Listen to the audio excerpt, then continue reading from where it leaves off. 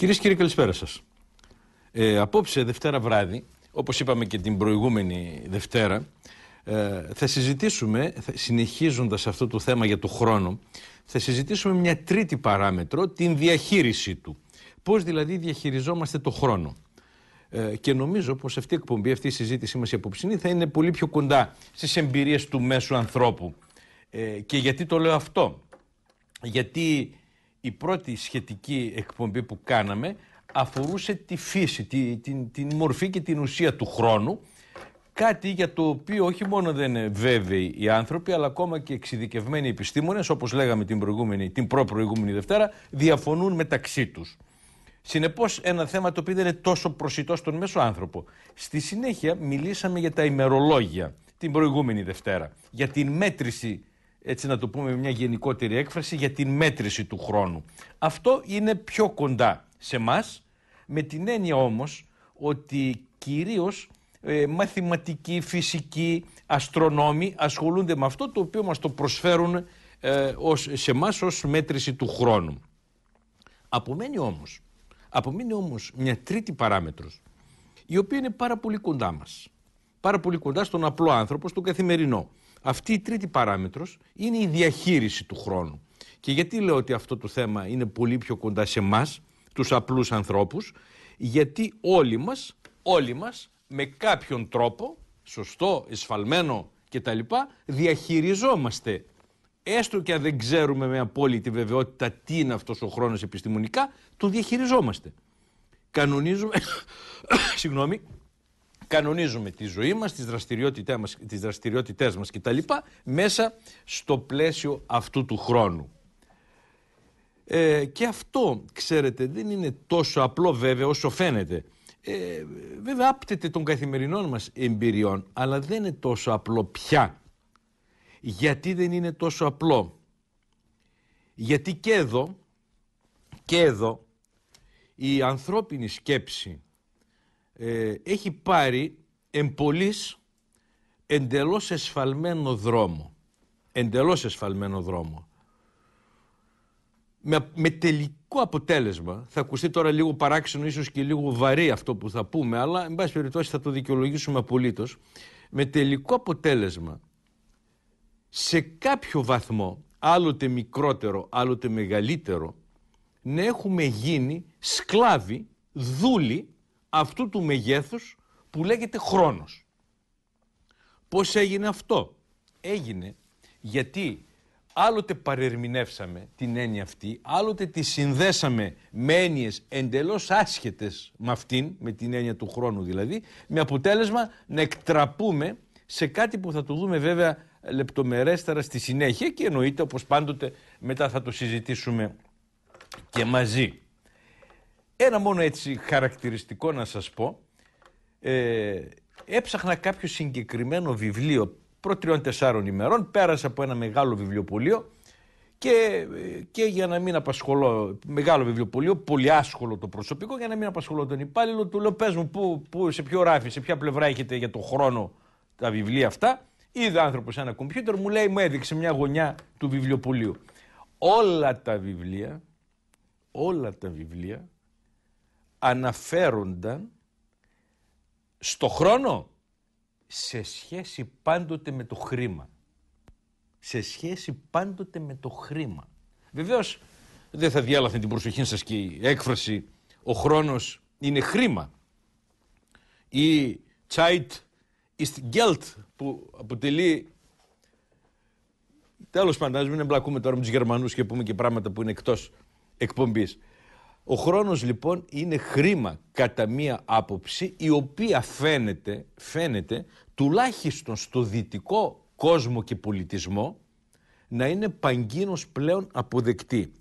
Εντελώς χαρακτηριστικά, εντελώς χαρακτηριστικά Βέβαια δεν πήρα κανένα βιβλίο γιατί κάτι άλλο έψαχνα που δεν, δεν με ενδιέφερε με, αυτήν την, με αυτόν τον υποτιτλισμό χρόνος και χρήμα. Τέλος πάντων, ένα μόνο που είχα έτσι κι αλλιώς, δείτε λίγο χαρακτηριστικά.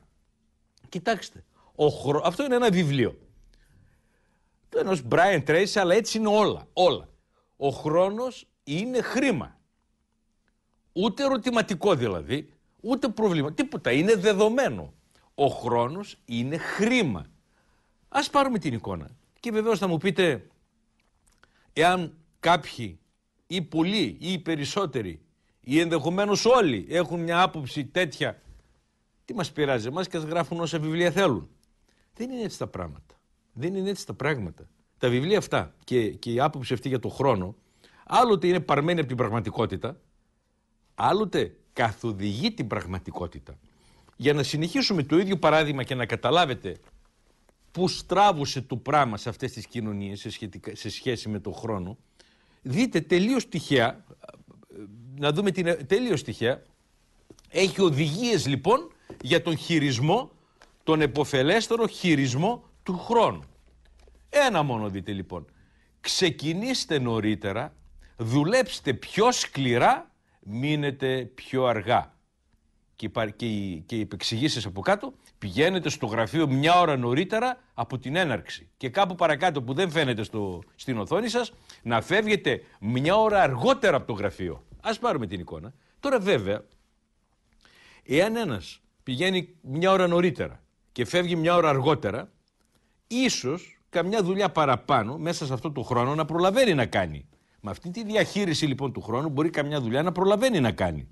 Ναι, δεν γράφει όχι μόνο αυτό το βιβλίο. Μην θεωρείτε ότι κατηγορούμε το συγκεκριμένο βιβλίο, το συγκεκριμένο εκδοτικό οίκο που το έβγαλε. Όλα αυτά τα βιβλία δεν γράφουν καθόλου από πού, από πού στερεί, από ποιο κομμάτι της ζωής του στερεί αυτός ο άνθρωπος αυτό το δίωρο, το τρίωρο που έτσι με την μεγαλύτερη δυνατή ευκολία καθίστε στο γραφείο, καθίστε στη δουλειά σας, κάνα δύο ώρες, τρεις, πλέον παρακάτω. Δείτε λίγο την επόμενη εικόνα. Σκοπεύετε τις μέγιστες απολαβές. Ας πάρουμε την εικόνα, δεν χρειάζεται να διαβάσουμε. Οι τίτλοι, οι, οι, οι τίτλοι ενδιάμεση των κεφαλαίων δείχνουν αυτό που θέλω να γίνει αντιληπτό και να πάμε παρακάτω. Δηλαδή, ο στόχος είναι μόνο η αύξηση του κέρδους. Είτε για την επιχείρηση από τη δουλειά του υπαλλήλου, είτε για τον υπάλληλο ως υπερορία, ως οτιδήποτε. Δηλαδή πηγαίνετε νωρίτερα, φεύγετε αργότερα για να βγάζετε πιο πολλά λεφτά. Και γιατί όλα αυτά; Γιατί όπως είπαμε, ο χρόνος είναι χρήμα. Εάν ο χρόνος είναι χρήμα, τότε, για κοιτάξτε λίγο την επόμενη εικόνα. Για κοιτάξτε κάτι πραγματοποιήστε το μέγιστο στη διάρκεια του, του αεροπορικού σας ταξιδιού. Υπάρχει λοιπόν ένα ολόκληρο κατεβατό. Α πάρουμε την εικόνα για να μην ταλαιπωρήσετε με, με τα μικρά αυτά. Πα την πάρουμε. Υπάρχει ένα ολόκληρο κατεβατό, δύο-τρεις σελίδες για κάτι που μέχρι πρόσφατα που το θεωρούσαμε ότι δεν δίναμε καμιά σημασία. Μας δίνανε ένα, μια, έναν αριθμό θέσεων στο αεροπλάνο Καθόμασταν και τέλειωνε η δουλειά. Πηγαίναμε στη δουλειά μας, κάναμε τη δουλειά μας και γυρνάγαμε. Εδώ τώρα έχει ένα ολόκληρο κατεβατό σε ποια θέση του αεροπλάνου πρέπει να κάτσεις, ούτως ώστε, ούτως ώστε να μπορείς ανενόχλητος να εργάζεσαι. Να εργάζεσαι. Ούτως ώστε να μην σε ενοχλήσει ο συνεπιβάτη σου, να μην σου μιλήσει. Να μην σε ενοχλήσει η υπάλληλος, η, η αεροσυνοδό του, του αεροσκάφους με οποιαδήποτε ε, με οποιοδήποτε λόγο της. Δηλαδή, Δηλαδή αυτό που λέγαμε παλιότερα, θα μου πείτε τώρα στα χρόνια μας αφελές ακούγεται, η μαγεία ενός ταξιδιού που λέγαμε, που λέγαμε, τα, τα προλάβαμε, η γενιά μας τα πρόλαβε, ότι όσο και να ζορίστηκα πριν το ταξίδι για οποιοδήποτε λόγο, όσο και αν με περιμένει κούραση, ζόρι, πίεση όταν φτάσω εκεί που έχω να κάνω τη δουλειά μου, θα κάτσω σε ένα αεροπλάνο μέσα μια ώρα, δύο ώρες, να ηρεμήσω, να ησυχάσω. Ούτε και αυτό. Και μόλις προτριών τεσσάρων ημερών για να, καταλα... για να καταλάβετε για να καταλάβετε την παρεκτροπή πια, την παρέκβαση που κάνουμε. Γιατί άλλο πράγμα να χρησιμοποιούμε σωστά γενικώ το χρόνο μας. Εξάλλου αρχαιοελληνικό είναι το χρόνου φίδου, να κάνεις οικονομία δηλαδή στο χρόνο, να τον γεμίζεις με κάτι εποφελές στο χρόνο. Και άλλο πράγμα, και άλλο πράγμα, η ιστερία, η ιστερική ταχύτητα απέναντι στον χρόνο. Διάβαζα λοιπόν. Πάντως τις τελευταίες μέρες, δεν βλέπω, δεν σημείωσα την ημερομηνία. Διάβαζα τις τελευταίες μέρες το εξής. Στις εφημερίδες έγραφε ότι μια αεροπορική εταιρεία μεγάλη πλήρωσε ένα σωρό χιλιάδες δολάρια για να γίνει μια μελέτη σχετικά με τα αεροπλάνα της. Βεβαίως, εάν η μελέτη ήταν για την ασφάλεια των πτήσεων ή για οτιδήποτε, για την εκπαίδευση του προσωπικού, για οτιδήποτε σχετικό, δεν θα άξιζε να το αναφέρουμε. Ξοδεύτηκαν λοιπόν χιλιάδες δολάρια, προσέξτε σας παρακαλώ πάρα πολύ. Γιατί; Για να μελετήσει αυτή η εταιρεία, τον όχι, όχι αεροπορική, η εταιρεία αυτή το, της, της μελέτης, των μελετών ας πούμε αυτών, τι να μελετήσει; Πώς μπορεί να κερδιθούν κάποια δευτερόλεπτα στην, ε, κατά την επιβίβαση των. Μάλλον δείτε, δείτε την, ε, την αυτή και θα σας εξηγήσω. Επιβίβαση σε χρόνο ρεκόρ. Με την μέθοδο Στέφεν, ένα αεροσκάφος Boeing 757 γεμίζει σε 16 δευτερόλεπτα. Ας πάρουμε την εικόνα. Ξοδεύτηκαν λοιπόν χιλιάδες δολάρια γιατί; Όμως δοκιμές που έγιναν έδειξαν πως με τη μέθοδο αυτή Δηλαδή, ποια μέθοδο, δεν είναι τίποτα σύνθετο. Μάλλον σύνθετο είναι, αλλά, αλλά στην εφαρμογή του δεν είναι. Πόσοι επιβάτες πρέπει να μπουν από την πρόσπορτα, πόσοι από την πίσω. Ποιοι πρέπει πρώτα να μπουν, για να μην σας το διαβάζω ολόκληρο, ποιοι πρέπει πρώτα να μπουν, δηλαδή αυτοί που κάθονται στα παράθυρα, αυτοί που κάθονται στην πόρτα, αυτοί που κάθονται στη μέση και πώς να εναλλάσσονται αυτοί, να μπουν 15 άνθρωποι που κάθονται. Κάτι πράγματα εξωφρενικά. Γιατί όλα αυτά, γιατί όλα αυτά, δείτε το του γιατί. Μάλλον δεν φαίνεται, με συγχωρείτε λάθος δικό μου, δεν φαίνεται από εκεί. Όμως, δοκιμές που έγιναν έδειξαν πως με τη μέθοδο αυτή χρειάζονται 414 δευτερόλεπτα για να γεμίσει ένα Boeing 757. Η εντελώς τυχαία επιβίβαση, χωρίς προκαθορισμένες θέσεις, έφερε πολύ καλύτερο αποτέλεσμα 284 δευτερόλεπτα. Η μέθοδος Στέφεν επέτρεψε την επιβίβαση των επιβατών σε μόλις 216 δευτερόλεπτα. Δηλαδή, μετά από τα, από τα χιλιάδες αυτά δολάρια και τα λοιπά, εξοικονομήθηκαν, ε, συγγνώμη λίγο, το 216 με το 284 περίπου 60 δευτερόλεπτα. Με τη μέθοδο αυτή λοιπόν εξοικονομείται χρόνος σε 60 δευτερολέπτων. Μεγάλο πράγμα. Μεγάλο πράγμα. Και βέβαια όπως λέει και το ρεπορτάζ παρακάτω, ακόμα και για κάποιον που του δημιουργείται απορία, χρειαζόταν αυτό το πράγμα τόσο πολύ. Λέει το ίδιο το ρεπορτάζ, ναι, είναι λίγα δευτερόλεπτα, 1,5-2 λεπτά για να γεμίσει ένα Boeing. Αλλά 1,5-2 λεπτά, λέει παρακάτω, σε κάθε χίλιες πτήσεις είναι αρκετή ώρα. Αρκετή ώρα για το αεροπλάνο. Δηλαδή φτάσαμε δηλαδή σε πράγματα τα οποία είναι με την επίοικέστερη έκφραση απολύτως, απολύτως υπερβολικά. Ίσως τώρα και λίγο ανόητα, αλλά εν πάση περιπτώσει τώρα είχε λεφτά η αεροπορική εταιρεία να κάνει αυτή τη μελέτη να κερδίζει 1,5 λεπτό στην επιβίβαση. Ε, βέβαια και εδώ να πούμε και εδώ να πούμε ότι για πάρα πάρα πολλά χρόνια δεν υπήρχε αυτή η έννοια της συμπίεσης του χρόνου, της εκμετάλλευσης και του τελευταίου δευτερολέπτου. Πάντοτε, πάντοτε στις γεωργικές εκμεταλλεύσεις όπως ήταν για αιώνες ολόκληρους η ανθρωπότητα, στις αγροτοκτηνοτροφικές κοινωνίες δεν υπήρχε αυτή η έννοια του χρόνου. Για, για αιώνες, πάρα πολλούς αιώνες, χιλιάδες χρόνια η σπορά, η φύση των ζώων, η περιποίηση των ζώων, ε, όλα αυτά, ό,τι, ό,τι, ό,τι συνιστά αυτό που λέμε αγροτοκτηνοτροφικές κοινωνίες, δεν πεζόταν στο δευτερόλεπτο. Έπρεπε να γίνουν αυτές οι δουλειές με ανθρώπινους ρυθμούς, ήρεμα, ωραία, σε συνάρτηση πάντα με τις ώρες της ημέρας κτλ. Το πρόβλημα αυτό της διαχείρισης του χρόνου εμφανίστηκε κάποια πολύ συγκεκριμένη στιγμή Τη λέξη στιγμή τη χρησιμοποιώ βέβαια εννοείται με την ιστορική. Όταν λέμε στιγμή μπορεί να είναι χρόνια, πολλά χρόνια. Ήταν η λεγόμενη, πολύ πρόσφατα, δύο αιώνες μόλις πριν, η λεγόμενη ε, βιομηχανική επανάσταση. Όταν πια οι άνθρωποι πέρασαν σε μια άλλη, μάλλον οι κοινωνίες ολόκληρες πέρασαν σε μια άλλη κατάσταση, τις βιομηχανικές κοινωνίες, όταν δηλαδή έπαυσε σιγά σιγά να είναι αγροτοκτηνοτροφική οικονομία παντού σε όλη την Ευρώπη και πέρασε στη βιομηχανική της μορφή, οι άνθρωποι μεταβλήθηκαν σε εργάτες. Κυρίως χειρόνακτες.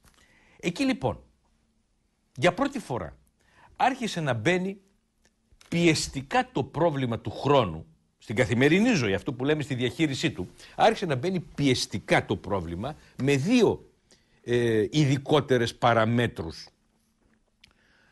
Η μία παράμετρος ήταν το πόσο θα δουλεύει ο εργάτης. Το πόσο θα δουλεύει. Και θα θυμάστε από την ιστορία της οικονομίας ότι τα πρώτα χρόνια δούλευαν 16 ώρες την ημέρα, μετά έγιναν 12, θεωρήθηκε μεγάλο κατόρθωμα του 10, το 10 θεωρήθηκε μεγάλο κατόρθωμα. Ε, μάλλον μεγάλο επίτευγμα του τότε συνδικαλισμού.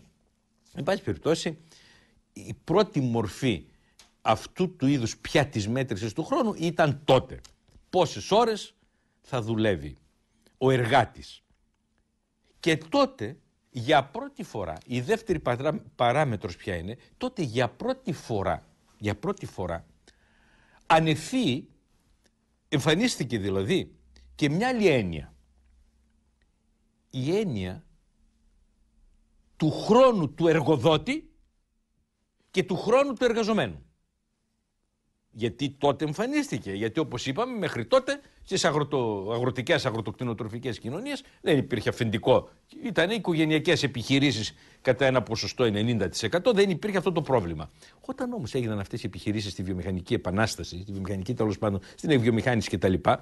Υπήρχε ένας εργοδότης. Τις ώρες αυτές λοιπόν τις 10, τις 12, πολύ αργότερα τις 8, τις θεωρούσαν πια, και έτσι ήταν δηλαδή, ώρες του εργοδότη. Οι υπόλοιπες ήταν ώρες του εργαζομένου, της ζωής του εργαζομένου. Και μια τρίτη, δεν θα την, μάλλον δεν θα την έλεγα τρίτη παράμετρο, θα την έλεγα απότοκο αυτής της, του αυτού του διαχωρισμού που είπαμε τώρα, ήτανε ότι, σε αυτό δεν θα μείνουμε αυτή τη στιγμή, αλλά ας το πούμε για να το έχουμε για, για λίγη ώρα αργότερα, ήταν το εξής. Αφού λέμε ότι ένα κομμάτι 8, 10, 12 ωρών ήταν ο χρόνος του εργοδότη, αυτός ο εργοδότης προσπαθούσε ακόμα και ο καλύτερος άνθρωπος να ήταν, δεν αναφέρομαι κατά ανάγκη σε σκληρούς και καταπιεστικούς και... ακόμα και ο καλύτερος άνθρωπος να ήταν, προσπαθούσε αυτό το δεκάωρο να πάρει σε ποσό, σε όγκο δουλειάς το το, το μεγαλύτερο δυνατό από τον εργάτη. Να εκμεταλλευτεί δηλαδή, το εκμεταλλευτεί, μην το, μην το παίρνετε κατά ανάγκη με την κακή έννοια, μάλλον να, να διορθώσω εγώ τη λέξη, να χρησιμοποιήσει και το τελευταίο δευτερόλεπτο του χρόνου που τον είπαμε πριν χρόνο του εργοδότη. Δηλαδή 10 ώρες ήταν στη δουλειά ο εργάτης. 10 ώρες ασταμάτητα ασταμάτητα, εάν ήταν δυνατόν, να δουλεύει για τον εργοδότη αυτόν στη βιομηχανική επανάσταση. Και αυτό ήταν και, το, και η αιτία που πολύ σύντομα, αρχίζοντας από την Αμερική, ε, εφευρέθηκε, επινοήθηκε μάλλον η, η μαζική παραγωγή βιομηχανικών αντικειμένων όπου κάθε εργάτης επί 8-10 ώρες έβαζε μια βίδα, συγκεκριμένη βίδα σε συγκεκριμένο μέρος της μηχανής που περνούσε από μπροστά του απάνω σε ημάντες. Ο άλλος ε, ένα σίδερο κατάλληλο, ο άλλος κολούσε κάτι. Αλλά το ίδιο πράγμα επί ώρες. Επί 8-10 ώρες, ούτως ώστε να μην χάνεται ούτε ένα δευτερόλεπτο. Ε, εν πάση περιπτώσει, αυτό, αυτό συναρτάται και με ένα άλλο θέμα που ανέκυψε τότε, που προέκυψε μάλλον τότε, για το οποίο δεν θα συζητήσουμε καθόλου, είναι πελώριο και ενδιαφέρον θέμα. Τότε επινοήθηκαν ε, σε μια έτσι ραγδαία εξέλιξη των επιστημών και των εφευρέσεων, τότε επινοήθηκαν οι μηχανές. Οι μηχανές αυτές οι οποίες αντικατέστησαν τους ανθρώπους, αλλά αυτό είναι ένα μεγάλο θέμα, επηρέασε, επηρέασε την διαχείριση του χρόνου, αλλά είναι τόσο μεγάλο που απλώς το αναφέρουμε τώρα έτσι για την πληρότητα αυτής της, της εισαγωγής και θα το πούμε κάποια άλλη στιγμούλα.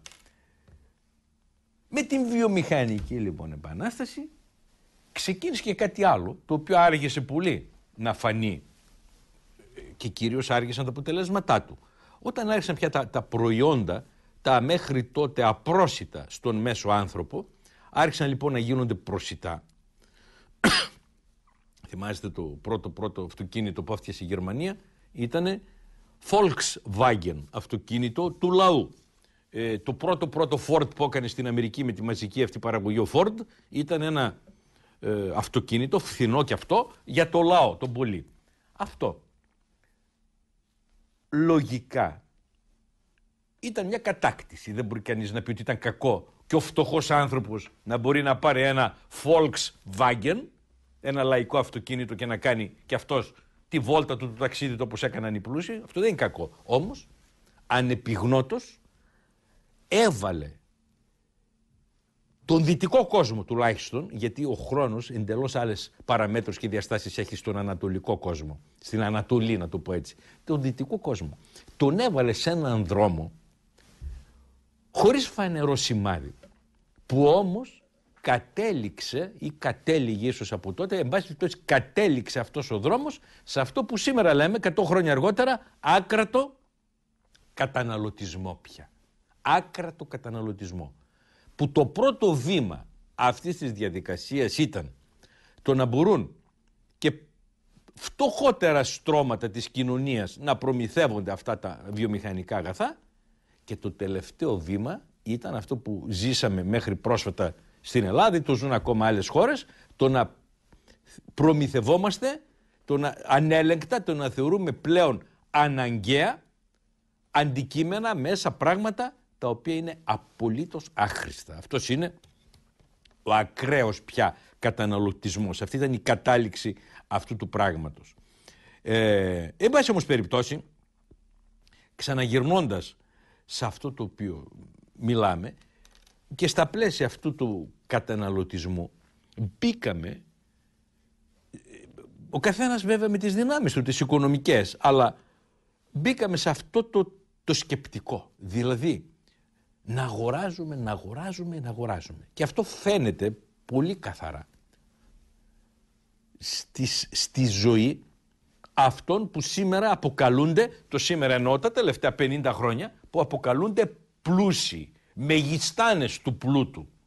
Αυτοί λοιπόν οι άνθρωποι, ναι μεν κατέληξαν πάμπλουτοι, δεν υπάρχει αμφιβολία, τα διαβάζατε προ καιρού, ίσως ακόμα τώρα, στις κοσμικές στήλες από εδώ από εκεί, κατέληξαν να είναι πάμπλουτοι. Δεν υπάρχει αμφιβολία. Αλλά, αλλά αυτοί οι άνθρωποι κάνανε μία κάκιστη κατά την ταπεινή άποψη του μιλούντος. Γιατί αν ρωτήσετε αυτούς θα σας πούν πολύ καλά κάναν. Κάνανε μια κάκιστη διαχείριση του χρόνου τους.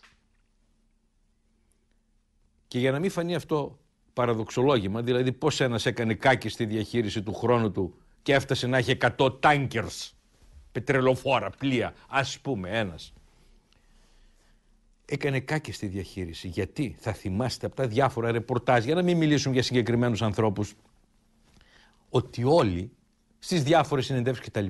ή όταν άλλοι μιλούσαν για αυτούς, λέγαν, συμφωνώντας οι μεν με τους δε, ότι όλη την ημέρα, όλη τη νύχτα όλη τους η απασχόληση ήταν τα 50 tankers, tankers να τα κάνουν 51, τα 51 να τα κάνουν 52, μέχρι που ήρθε το πλήρωμα του χρόνου και εγκατέλειψαν το μάτι αυτού του κόσμου και τα tankers πίσω τους. Και όλα αυτά τα χρόνια, και όλα αυτά τα χρόνια είχαν κλεισμένα, γι' αυτό λάζουμε μην πούμε για πρόσωπα και θίξουμε μνήμες, είχαν κλεισμένα τα παιδιά τους σε σχολιά στην Ελβετία και από εδώ και από εκεί και σε οικοτροφία τα βλέπανε μια φορά το χρόνο, μια φορά το χρόνο τα βλέπαν τα παιδιά τους για να βγατίζουν και να μεγαλώνουν τον αριθμό των, των αεροπλάνων τους, των τάκερς, των ένα και των άλλων.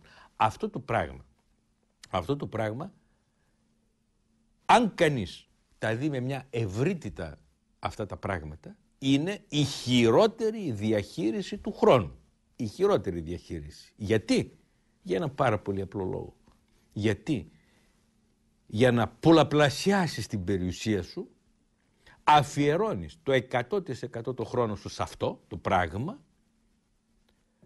μη αφήνοντας, μη αφήνοντας χρόνο για τις πραγματικές χαρές της ζωής ακόμα και με την δική τους άποψη. Γιατί το λέω αυτό. Γιατί να σας πω εγώ ποιες είναι οι χαρές της ζωής, θα μου πει κάποιος, ε, αυτές είναι οι χαρές της ζωής για σένα. Ουτάδε εφοπλιστή, ουτάδε μεγαλό, δεν ξέρω τι, μεγάλο βιομήχανος. Ναι, αλλά το να δει ένας να ζήσει με τα παιδιά του.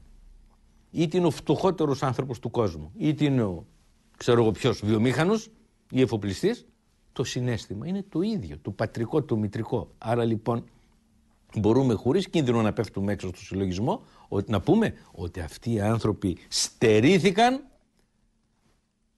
ε, κατανάλωσαν το χρόνο τους σε πράγματα οικονομικά μόνον και στερήθηκαν τις πραγματικές χαρές της ζωής μια ζωής μια ζωής η οποία όλοι ξέρουμε κοινή εμπειρία είναι ότι είναι συντομότατη δηλαδή δεν έχουμε δύο-τρεις ζωές να πεις θα φάω τη μια ζωή μου να κάνω 150 τάγκερς αλλά θα φάω τη δεύτερη ζωή μου να περάσω καλά με τα παιδιά μου. Δεν είναι έτσι. Δεν είναι έτσι. Και νομίζω βέβαια όλα υπό την κρίση των τηλεθεατών που ακούνε και μπορεί να πει κάποιος άλλος, εγώ θα προτιμούσα να φάω όλη τη ζωή να κάνω τάγκερς. Εντάξει, συζήτηση κάνουμε. Αλλά καμιά φορά βλέποντας κανείς τα γύρω-γύρω έβλεπα μια μέρα, διάβαζα και έβλεπα μια μέρα, γιατί στον τέλος λοιπόν, έβλεπα σκάφη εγκαταλελειμμένα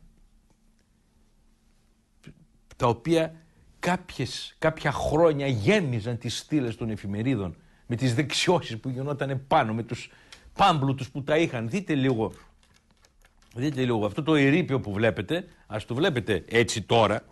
Αυτό είναι το σκάφος, ένα σκάφος, το Σκάνα λέγεται, ε, το οποίο εδώ, απάνω σε αυτό βέβαια γυρίστηκε το παιδί και το Δελφίνι με τη Σοφία Λόρεν, αλλά εδώ πάνω ήταν ενός μεγάλου Ιταλού Μεγιστάνα, ο οποίος είχε και κάποιο δεσμό με τη Μαρία Καλ. Τέλος πάντων, αυτά είναι και τα. Βέβαια, για τεθνεώτες μιλάμε, αλλά αυτά ήταν και τα προσωπικά τους. Αυτό το σκάφος, το, το ρημάδι που βλέπετε τώρα, ήταν ένα αυτό κάθε μέρα στις ε, πώς τις λένε, στις ε, στήλες τις κοσμικές και βλέπετε τώρα αυτό το πεταμένο και εννοείται, εννοείται, ας πάρουμε την εικόνα, ότι όσοι έλαμψαν ως, πρόσωπα, ως πρόσωπα ή ως προσωπικότητες απάνω σε αυτό το σκάφος, όλοι, όλοι εδώ και πολλά χρόνια απέτησαν το κοινό χρέος. Ούτε υπάρχουν, ούτε κανείς ξέρει που είναι, που είναι θαμένοι τίποτα.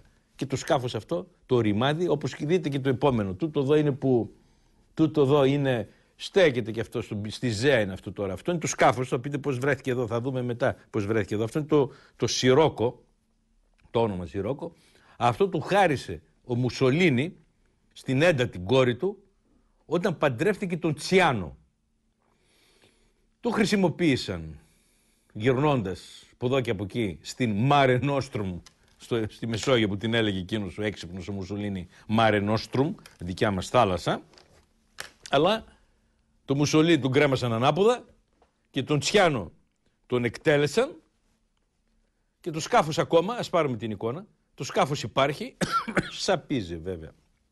Σαπίζει βέβαια και αυτοί οι οποίοι Βέβαια θα μου πείτε αυτή ήταν πολιτική, πρωθυπουργός ο ένας, υπουργός εξωτερικών ο Τσιάνο. Ήτανε, ήτανε, αλλά παρά το ότι ήτανε, ούτε ίχνος και αυτόν υπάρχει. Δείτε το επόμενο που λέγεται και, που λέγεται και καημός, τούτο εδώ, τούτο εδώ σαπίζει και αυτό, ούτε, ούτε το χρησιμοποιεί πια κανένας. Αυτό είναι του, πήρε το όνομα καημός τώρα βέβαια στην Ελλάδα. Αυτό ήταν το σκάφος που είχε δωρήσει παλιά ο Τίτο, ο αυτός της Ιουγκοσλαβίας, ο πρωθυπουργός της Ιουγκοσλαβίας, στον Χαϊλέ Σελασιέ, τον πρόεδρο, τον βασιλιά τότε, τον αυτοκράτορα μάλλον, της Αιθιοπίας. Και είναι πραγματικά ε, είναι, ας την πάρουμε την εικόνα, είναι πραγματικά άξιος σκέψης, άξιος σκέψης το ότι από αυτούς κανένας δεν υπάρχει, κανένας απολύτως και υπάρχουν τα παλιοσίδερα και τα παλιόξυλα. Δηλαδή, δηλαδή, κοιτάξτε και μια ηρωνία του πράγματος. Τον χρόνο, τον χρόνο πολύ περισσότερο τον ήλεγξαν αυτά τα άψυχα αντικείμενα, γιατί ακόμα υπάρχουν, έστω και σε αυτή τη μορφή, την ίδια ώρα που σαν νερό, σαν νερό έτρεξε και χάθηκε, χάθηκε διαπαντός. Και ξέρετε αυτό, θα θυμάστε για την ματαιότητα αυτή, κάποιος είχε πει μια σοφή κουβέντα και όσο και σας φανεί περίεργο, αυτός ο κάποιος ήταν ο Ξέρξης. Ο Ξέρξης όταν έκανε την εκστρατεία στην Ελλάδα και πέρασε τα στρατεύματα από τον Ελίσποντο Πολλοί είπαν για ένα εκατομμύριο στρατού. Δεν ήταν ένα εκατομμύριο, ήταν υπερβολή αυτό. Τον, η, η, η, ιστορική και η διασταύρωση των, των στοιχείων τον ανεβάζει σε 200.000. Αλλά ένα τεράστιο ασυλλήπτου μεγέθους στράτευμα για την εποχή εκείνη. Όταν λοιπόν διέβαιναν τον Ελίσποντο τα στρατεύματα αυτά, πάνωπλα, ε, με το υπηκό, με, τα, με ό,τι μέσα έχει εκείνη την εποχή ο Ξέρξες, πάνω από ένα λόφο, τα βλέπε τα στρατεύματα αυτά. Και κάποια στιγμή δάκρυσε ο Ξέρξης. Και ένας από την ακολουθία του τον ρώτησε, του λέει γιατί μεγαλειότατε, όπως τον προσφωνούσαν τότε ίσως, γιατί κλαίτε, γιατί δακρύζετε; Και απήντησε ο Ξέρξης, κλαίω γιατί σκέφτομαι ότι από όλα αυτά τα στρατεύματα που βλέπετε εδώ στην πεδιάδα κάτω, σε 100 χρόνια δεν θα υπάρχει κανένας, δεν θα υπάρχει τίποτα. Βλέπετε δηλαδή χιλιάδες χρόνια πριν ο Ξέρξης, ο οποίος προφανώς δεν θα έχει και καμιά ιδιαίτερη κουλτούρα ή μόρφωση κτλ. Είχε πιάσει, είχε συλλάβει την ματαιότητα των πραγμάτων. Και υπάρχει μια γερμανική έκφραση που λέγεται ε, Ruinen Αυτό θα πει, αυτό θα πει ε, η λύπη, η λύπη, ο καημός των ερηπείων. Δηλαδή, δηλαδή, τι θα πει αυτό τώρα, γιατί δεν υπάρχει αντίστοιχη στην ελληνική γλώσσα. Ε, αυτό θα πει πως όταν βλέπουμε, ακόμα και στη χώρα μας, όπου υπάρχουν, όπου υπάρχουν αρχές, πόλεις, απομεινάρια και τα λοιπά, φρουρίων, πόλεων και τα σχετικά, ε, βλέπουμε και αντιλαμβανόμαστε ότι σε αυτά πέρασαν, έζησαν χιλιάδες άνθρωποι, πολέμησαν, αγάπησαν, αγαπήθηκαν, εργάστηκαν, δραστηριοποιήθηκαν χιλιάδες χιλιάδων από τους οποίους δεν υπάρχει τίποτα και σώζονται και σώζονται τα ερήπια, δηλαδή σώζονται οι πέτρες. Βέβαια εμείς καμιά φορά το λέμε αυτό, το αντιλαμβανόμαστε, αλλά στην ουσία δεν εφαρμόζουμε τίποτα από όλα αυτά. Και αυτό ξέρετε με, ποιο, με τι μοιάζει. Πώς καμιά φορά γυρνάμε από το νεκροταφείο, άμα καμιά φορά πάμε σε μια κηδεία, για 5-10 λεπτά όλοι είμαστε σκεπτικοί, σκεπτόμαστε την ματαιότητα των εγκοσμίων και σε μισή ώρα που θα φτάσουμε στο σπίτι μας πάλι στο γραφείο μας ξεχνάμε ό,τι είδαμε και ό,τι είπαμε. Τέλος πάντων, ας, ας μείνει σε παρένθεση αυτό. Ίσως, ίσως για την ανθρώπινη μοίρα που είναι εξαιρετικά σημαντικό ζήτημα, ίσως να μιλήσουμε την επομένη φορά, αλλά επί του παρόντος ας το κρατήσουμε με παρενθέσει. Και,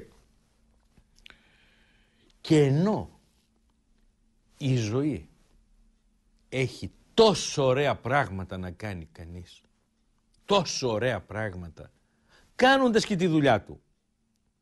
Ή αποχωρώντας από τη δουλειά του κάποια στιγμή εξωπρεπώς, οι περισσότεροι είναι γαντζωμένοι στην εξουσία, αν μιλάμε για εξουσία πολιτική, είναι γαντζωμένοι στο χρήμα, είναι γαντζωμένοι σε αυτά τα οποία είναι πάλι κατά την άποψή μου κατασπατάληση του χρόνου. Και έβλεπα και βλέπω και εσείς κατά καιρούς πάρα πολλά έχουμε δει. Αλλά ένα-δυο δεν είναι, δεν είναι αυτό να πούμε εκατό παραδείγματα, ένα-δυο. Βλέπουμε ανθρώπους οι οποίοι βρέθηκαν στην εξουσία για πολλά χρόνια και θα μπορούσαμε να πούμε την χόρτασαν την εξουσία, την χόρτασαν την εξουσία και παρά για δείτε λίγο παρά τα αυτά. Ο Μπρέσνιεφ, τον θυμάστε οι παλιότεροι, Λεωνίδας, Λεωνίντ, ο Λεωνίντ Μπρέσνιεφ, ηγέτης της Σοβιετικής Ένωσης, στις παντοδυναμίες της Σοβιετικής Ένωσης, πολλά χρόνια. Βλέπετε, εξακολουθεί στην εικόνα, βέβαια δεν ζει και αυτός, εξακολουθεί λοιπόν στην εικόνα, μην μπορώντας να περπατήσει, μην μπορώντας να κατέβει τη σκάλα του αεροπλάνου, δείτε και την επόμενη εικόνα, δείτε και την επόμενη, δυο τον κρατάνε εδώ, δυο τον κρατάνε εδώ, να μπορέσει, βέβαια πλάκα τα παράσημα, πρόεδρος της μεγαλύτερης, μιας από τις δύο μεγαλύτερες υπερδυνάμεις του πλανήτη, Βλέπετε εδώ πέρα πώς περπατάει, αν περπατάει. Και έρχεσαι και λες, ας πάρουμε την εικόνα.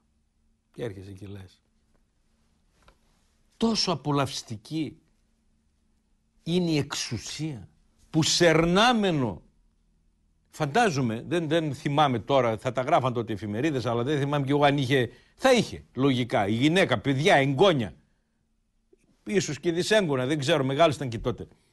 Δηλαδή τόσες χαρές έχει η ζωή. Αφού έκανες την Πρωθυπουργία, ε, Γενικός Γραμματέας λεγόταν τότε, το αντίστοιχο του Πρωθυπουργού σε άλλα πολιτεύματα, Γενικός Γραμματέας του, του Κομμουνιστικού Κόμμα. Έκανες τόση πορεία σε τέτοιες θέσεις. Είναι ανάγκη τον τελευταίο χρόνο, που, τα τελευταία χρόνια, όχι τον χρόνο με την έννοια την αριθμητική, δεν, δεν ξέρω κι εγώ μετά πόσο καιρό πέθανε, όχι τον χρόνο με την έννοια του χρόνου, με την έννοια τη γενική. Τα τελευταία χρόνια τη ζωή σου να σε σέρνουν, να δαπανάς σε εκεί τα έσχατα όρια της παρουσίας απάνω σε αυτή τη γη. Και για να μην νομιστεί, για να μην νομιστεί, λέμε για τον Μπρέτνεφ, λέμε για πολλά πολλά, και στη χώρα μας. Δεν ήταν αποκαρδιωτικό, εντελώς αποκαρδιωτικό. Αυτό το θέαμα που θα δείτε τώρα. Τον τότε πρωθυπουργό, τον τότε πρωθυπουργό, να τον κρατάει με τα δυο χέρια εδώ ο κύριος Κακλαμάνης, άλλους σε άλλες περιπτώσεις άλλοι, να πολεμάει τώρα ένας άνθρωπος ο οποίος δεν ξέρω, εγώ βλέπω αυτές τις, τις, τις εικόνες, όχι γιατί είναι ο Παπανδρέου, ή ο Μπρέζνεφ ή οποιοδήποτε. Ας πάρουμε την εικόνα. Βλέπετε ένας πρωθυπουργός. Αυτός και αν ήταν χορτάτος από εξουσία. Σε αυτόν και αν πίστεψαν εκατομμύρια άνθρωποι. Ασχέτως του σημερινού καταντήματος και αυτής της παράταξης. Ασχέτως αυτού. Και εδώ επειδή είναι στην Ελλάδα και ξέρουμε, ο συγκεκριμένος και παιδιά έχει και εγγόνια από τότε μεγαλούτσικα είχε, δηλαδή θα μπορούσε αντί να σέρνεται από έδρανος σε έδρανος στη Βουλή, υποβασταζόμενος από τον έναν και από τον άλλον, θα μπορούσε αυτά τα τελευταία, αυτά της ζωής του να τα περάσει τελείως διαφορετικά. Και ας, ναι, α, λοιπόν, νομίζω λοιπόν, νομίζω λοιπόν πως χαρακτηριστικότατα παραδείγματα κάκιστης διαχείρισης του χρόνου και μάλιστα τις τελευταίες τελευταίες ε, ώρες, μέρες, χρόνια, τα τελευταία τέλος πάντων του βίου κάνουν αυτοί οι άνθρωποι, οι γαντζωμένοι από εδώ και από εκεί σε αυτά τα υπήγεια. Και δεν είναι μόνον εννοείται φυσικά στη χώρα μας ή στη Ρωσία η πάλι του ανθρώπου με τον χρόνο δεν είναι πρωτοφανής στα χρόνια μας. Η προσπάθεια αυτή να νικηθεί το ανίκητο είναι παλιά. Θυμάστε, οι παλιότεροι εννοώ, για δείτε μια φωτογραφία εκεί πέρα. Αυτή η κυρία, πιθανώς ακόμα και στους παλιότερους, έτσι μόνο ως εικόνα, να μην λέει τίποτα. Να μην λέει τίποτα. Αυτή η κυρία που είδατε, αν σας πω το όνομα, οι παλιότεροι θα τα θυμηθούν αμέσως βέβαια, ας πάρουμε την εικόνα. Αυτή η κυρία είναι, ήταν μια διασημότητα ιατρική μισό αιώνα πριν και παραπάνω. Αυτή ήταν η Άννα Ασλάν, Ρουμάνα γεροντολόγος. Αυτή λοιπόν είχε δημιουργήσει στη Ρουμανία η Άννα Ασλάν τα παλιότερα χρόνια ένα, μια προσπάθεια να νικήσει τα γυρατιά. Δηλαδή, και γιατί έγινε διάσημη, η, η Άννα Σλάν, για να, μην, για να μην παρανοηθεί κάτι, δεν έκανε ιατρική καταπολεμώντας ή αντιμετωπίζοντας κάποιες συγκεκριμένες παθήσεις των γυρατιών. Γιατί σήμερα υπάρχουν ρευματολόγοι, υπάρχουν πάσης ορθοπαιδική για τα οστά, για οτιδήποτε. Νευρολόγοι για, τις, για, τις, για τον εκφυλισμό του εγκεφάλου. Σήμερα πάρα πολλές τέτοιες ειδικότητες. Η Άννα Σλάν όμως προσπάθησε τότε και είχε μια παγκόσμια πύχηση, χιλιάδες χιλιάδων άνθρωποι συνέρεαν στο Βουκουρέστι για να νικήσει τα γερατιά. Και μάλιστα είχε, να δούμε λίγο την επόμενη εικόνα. Εδώ είναι η Άννα Σλάν επί το έργον. Αυτός ήταν ένας κύριος ο οποίος εδήλωνε τότε ότι αισθάνεται 20 χρονών, 30 δεν θυμάμαι, με το φάρμακο που έπαιρνε. Ας πάρουμε την εικόνα και να θυμίσω στους παλιούς και ίσως οι νεότεροι οι γιατροί τουλάχιστον να έχουν ακούσει, είχε λανσάρει ένα φάρμακο, η Άννα Σλάν, το οποίο λεγόταν Ζεροβιτάλ. Το Ζεροβιτάλ αυτό εφαίρετος ως θαυματουργό, ότι νικάει το χρόνο, νικάει τα γυρατιά. Βεβαίως, με το πέρασμα, βέβαια όπως κάθε τέτοιου είδους εξαγγελία, προκαλεί ενδιαφέρον, προκαλεί συρροή ανθρώπων, αλλά με τον θάνατο της Ασλάν, της Άννας Ασλάν, τέλειωσε και αυτή η ιστορία. Δηλαδή η επιστήμη, η ιατρική, δεν βρήκε ότι μπορούσε το Ζεροβιτάλ να σταματήσει τα γυρατιά. Φαίνεται τελικά, φαίνεται, γιατί αυτή ήταν η τελευταία προσπάθεια τέτοιου είδους. Τώρα εκ των υστέρων, εκ των υστέρων και με τις ε, με την εμπειρία που έχει κανείς στη ζωή, γιατί τότε γίνονταν αυτά και εγώ μικρό παιδί μου. Αλλά τώρα, ας πούμε, απορώ πώς τόσοι άνθρωποι, τόσες χιλιάδες ανθρώπων που συνέρεαν ε, στο Βουκουρέστι, στη Ρουμανία, πίστευαν ότι θα σταματήσουν τα γυρατιά. Φαίνεται, και όχι φαίνεται, είναι απολύτως βέβαιο τελικά, ότι ο άνθρωπος δεν μπορεί να πάει κόντρα στη φύση. Δεν μπορεί να πάει κόντρα στη φύση. Και γι' αυτό πρέπει κανείς όλα αυτά να τα αποδέχεται όπως είναι. Όπως είναι. Και να σταθμίζει τη ζωή του και το χρόνο του με την έννοια του πεπερασμένου. Ούτε η Άννα Σλάν γλίτωσε την ανθρωπότητα από τη φθορά αυτή του χρόνου, ούτε φαίνεται όχι μόνο στο ορατό μέλλον, αλλά ούτε και στο απότερο μέλλον φαίνεται να μπορεί να νικηθεί ο χρόνος. Και θα έχετε ακούσει χιλιάδες φορές τη φράση ή θα την έχετε διαβάσει αν δεν την έχετε ακούσει για πολλούς μεγάλους και τρανούς ή ο λιγότερων μεγάλους και τρανούς που έχουν πει κατά καιρούς τη φράση «Αχ, να μπορούσα να γυρίσω τον χρόνο πίσω». Ε, αν μπορούσες να γυρίσει τον χρόνο πίσω, δεν μπορείς. Αφού λοιπόν το ξέρουμε σήμερα ότι δεν μπορεί να γυρίσει ο χρόνος πίσω. Αυτό δεν μας υποχρεώνει σε μια ορθότερη, ορθολογικότερη, αποτελεσματικότερη διαχείρισή του. Δεν μπορείς να πεις και δεν λέμε, προσέξτε και κάτι, και δεν λέμε, τουλάχιστον σε αυτή την εκπομπή, ίσως μιλήσουμε στην επομένη, δεν λέμε σήμερα και για το απρόπτο. Μιλάμε δηλαδή για ηλικιωμένους, για την Άννα Σλάν, που, τη, γιαγιά ή τον παππού του, ε, καλά η γιαγιά και ο παππούς. Πόσα και πόσα ακούτε. Και ακούμε όλοι. Για διάφορους λόγους που ας μην επεκταθούμε γιατί είναι αυτονόητοι. Πάρα πολλές ζωές κόβονται στα 20, στα 30, στα 40. Αλλά αυτό ας το αφήσουμε και ας μείνουμε σε αυτό που λέμε την φυσιολογική εξέλιξη των πραγμάτων. Ακόμα λοιπόν και με τη φυσιολογική εξέλιξη των πραγμάτων, ο χρόνος η επιβράδυνση αυτή της της ηλικίας κτλ. Δεν μπορεί να γίνει. Ο χρόνος δεν μπορεί να γυρίσει πίσω. Ούτε μπορεί να σταματήσει ο άνθρωπος αυτή τη διαδικασία. Και εντελώς χαρακτηριστικά, και εντελώς χαρακτηριστικά, πάρα πολλές φορές μας πρικίζει η φύση, η ζωή, ο Θεός με προσόντα όπως ας πούμε και η εξωτερική εμφάνιση, η ομορφιά, ε, μα ακόμα και αυτά. Ή το εύστροφο πνεύμα. Ακόμα και αυτά. Ό,τι τάλαντο κι αν έχει κανείς, σιγά σιγά και αυτό απομειώνεται. Και δεν πρέπει κανείς κάνοντας κατάχρηση αυτού του τάλαντου, όποιο και αν είναι αυτό, να παραμελεί, να περιφρονεί όλα τα άλλα. Και ιδιαίτερα χαρακτηριστικό είναι, ιδιαίτερα πολλά είναι τα χαρακτηριστικά, αλλά έτσι μόνο δειγματοληπτικά για κοιτάξτε λίγο για να δείτε. Βλέπετε μια γιαγιάκα εδώ, πολύ πολύ μεγάλης ηλικίας, Βεβαίως συμπαθέστατη, χαριτωμένη κτλ.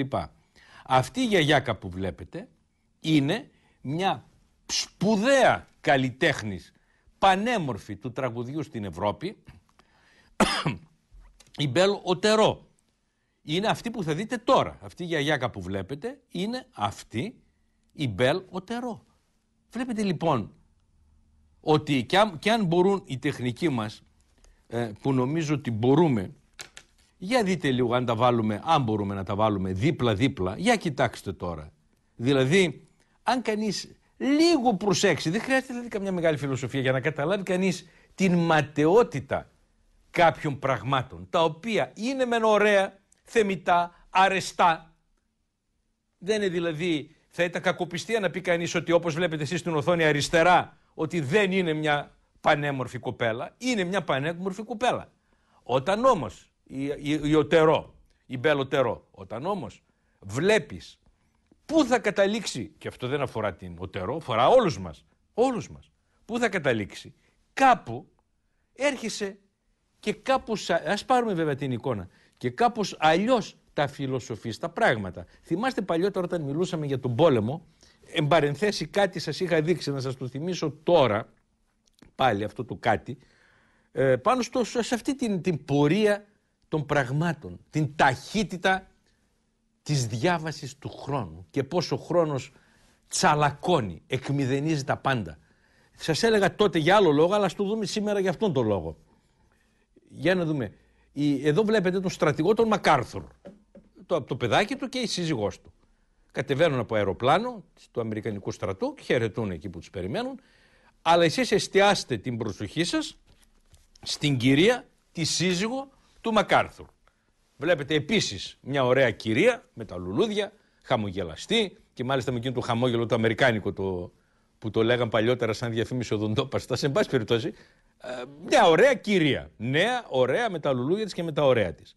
Αυτή η κυρία, με την πάροδο βέβαια των ετών, σε μια τελετή που ετιμήθη μνήμη του συζύγου της, αυτή λοιπόν η κυρία που δείτε την για τελευταία φορά να την έχετε στην οπτική σας αυτή, είναι που αυτή που θα δείτε τώρα αμέσως στην τελετή που σας λέω. Είναι αυτή η κυρία. Αυτή η κυρία. Δεν θα το πιστεύετε. Αν, αν του βλέπατε, αν, αν, αν ξέρω εγώ, σας το έλεγε κάποιος, ξέρω εγώ έτσι, ξεκάρφωτα, δεν θα το πιστεύετε με τίποτα. Και όμως, και όμως είναι η ίδια κυρία. Και Ας πάρουμε την εικόνα. Γιατί καμιά φορά όταν κανείς βλέπει ταυτόχρονα σε σύγκριση έναν άνθρωπο όταν τον ζούμε, συγγενή μας, φίλο μας κτλ. Δεν καταλαβαίνουμε το πέρασμα του χρόνου. Γιατί, Γιατί η καθημερινή μεταβολή είναι απολύτως ανεπαίσθητη. Εάν όμως δει κανείς όπως είδατε παρεκάλεσα πριν τους τεχνικούς μας να κάνουν αυτή την, αυτή δίπλα-δίπλα, καταλαβαίνετε δηλαδή χωρίς πολύ μεγάλη αυτή να πούμε τι γίνεται σε αυτή τη ζωή. Τούτος εδώ. Για δείτε. Εκ των, ο Τσόρτσιλ. Εκ των μεγαλύτερων ηγετών παγκοσμίως. Αυτό είτε συμφωνεί κανείς με τις επιλογές του, είτε διαφωνεί. Ε, πολλοί ιστορικοί διαφωνούν με πολλά. Και μάλιστα εδώ είναι στη συνδιάσκεψη του Πότσεδαμ, ε, όπου βλέπετε ε, μοιράζουν ένα μέρος του κόσμου. Δεν είναι βέβαια η συμφωνία της Γιάλτα, είναι η συμφωνία του Πότσεδαμ. Βλέπετε το Τρούμα, βλέπετε το Στάλιν. Αυτός λοιπόν εκ των μεγαλύτερων ηγετών, ο, ο, ο νικητής ουσιαστικά του Δευτέρου Παγκοσμίου Πολέμου με τους Αμερικανούς βέβαια. Ας πάρουμε την εικόνα.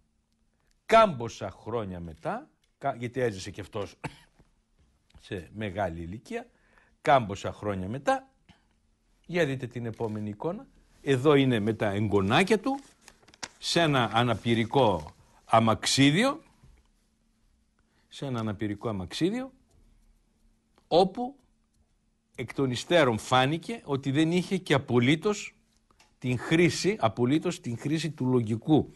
Δηλαδή, ας πάρουμε την εικόνα, δηλαδή ε, είχε πάει ένας δημοσιογράφος να τον ρωτήσει κάτι, μια μικρή συνέντευξη, σε αυτή τη μεγάλη, την πολύ μεγάλη ηλικία. Και εκείνη την ώρα φάνηκε ένα από τα παιδάκια αυτά, εκεί που μιλούσαν. Ο δημοσιογράφος ασυναίσθητο, όπως ίσως και εμείς του κάναμε, θα το κάναμε, έβαλε το χέρι στην τσέπη του και ψάχνοντας βρήκε μια καραμέλα. και τη βγάζει και τη δίνει στο παιδάκι. Ο Τσόρτσιλ ζήτησε καραμέλα. Δεν είχε άλλο άνθρωπος, γιατί δεν ήρθε για τέτοια, προ, προετοιμασμένος για τέτοιο αυτό να πούμε. Δεν είχε καραμέλα δεύτερη. Και όπως χρόνια μετά είπε ο ίδιος, ο Τσόρτσιλ άρχισε να κλαίει.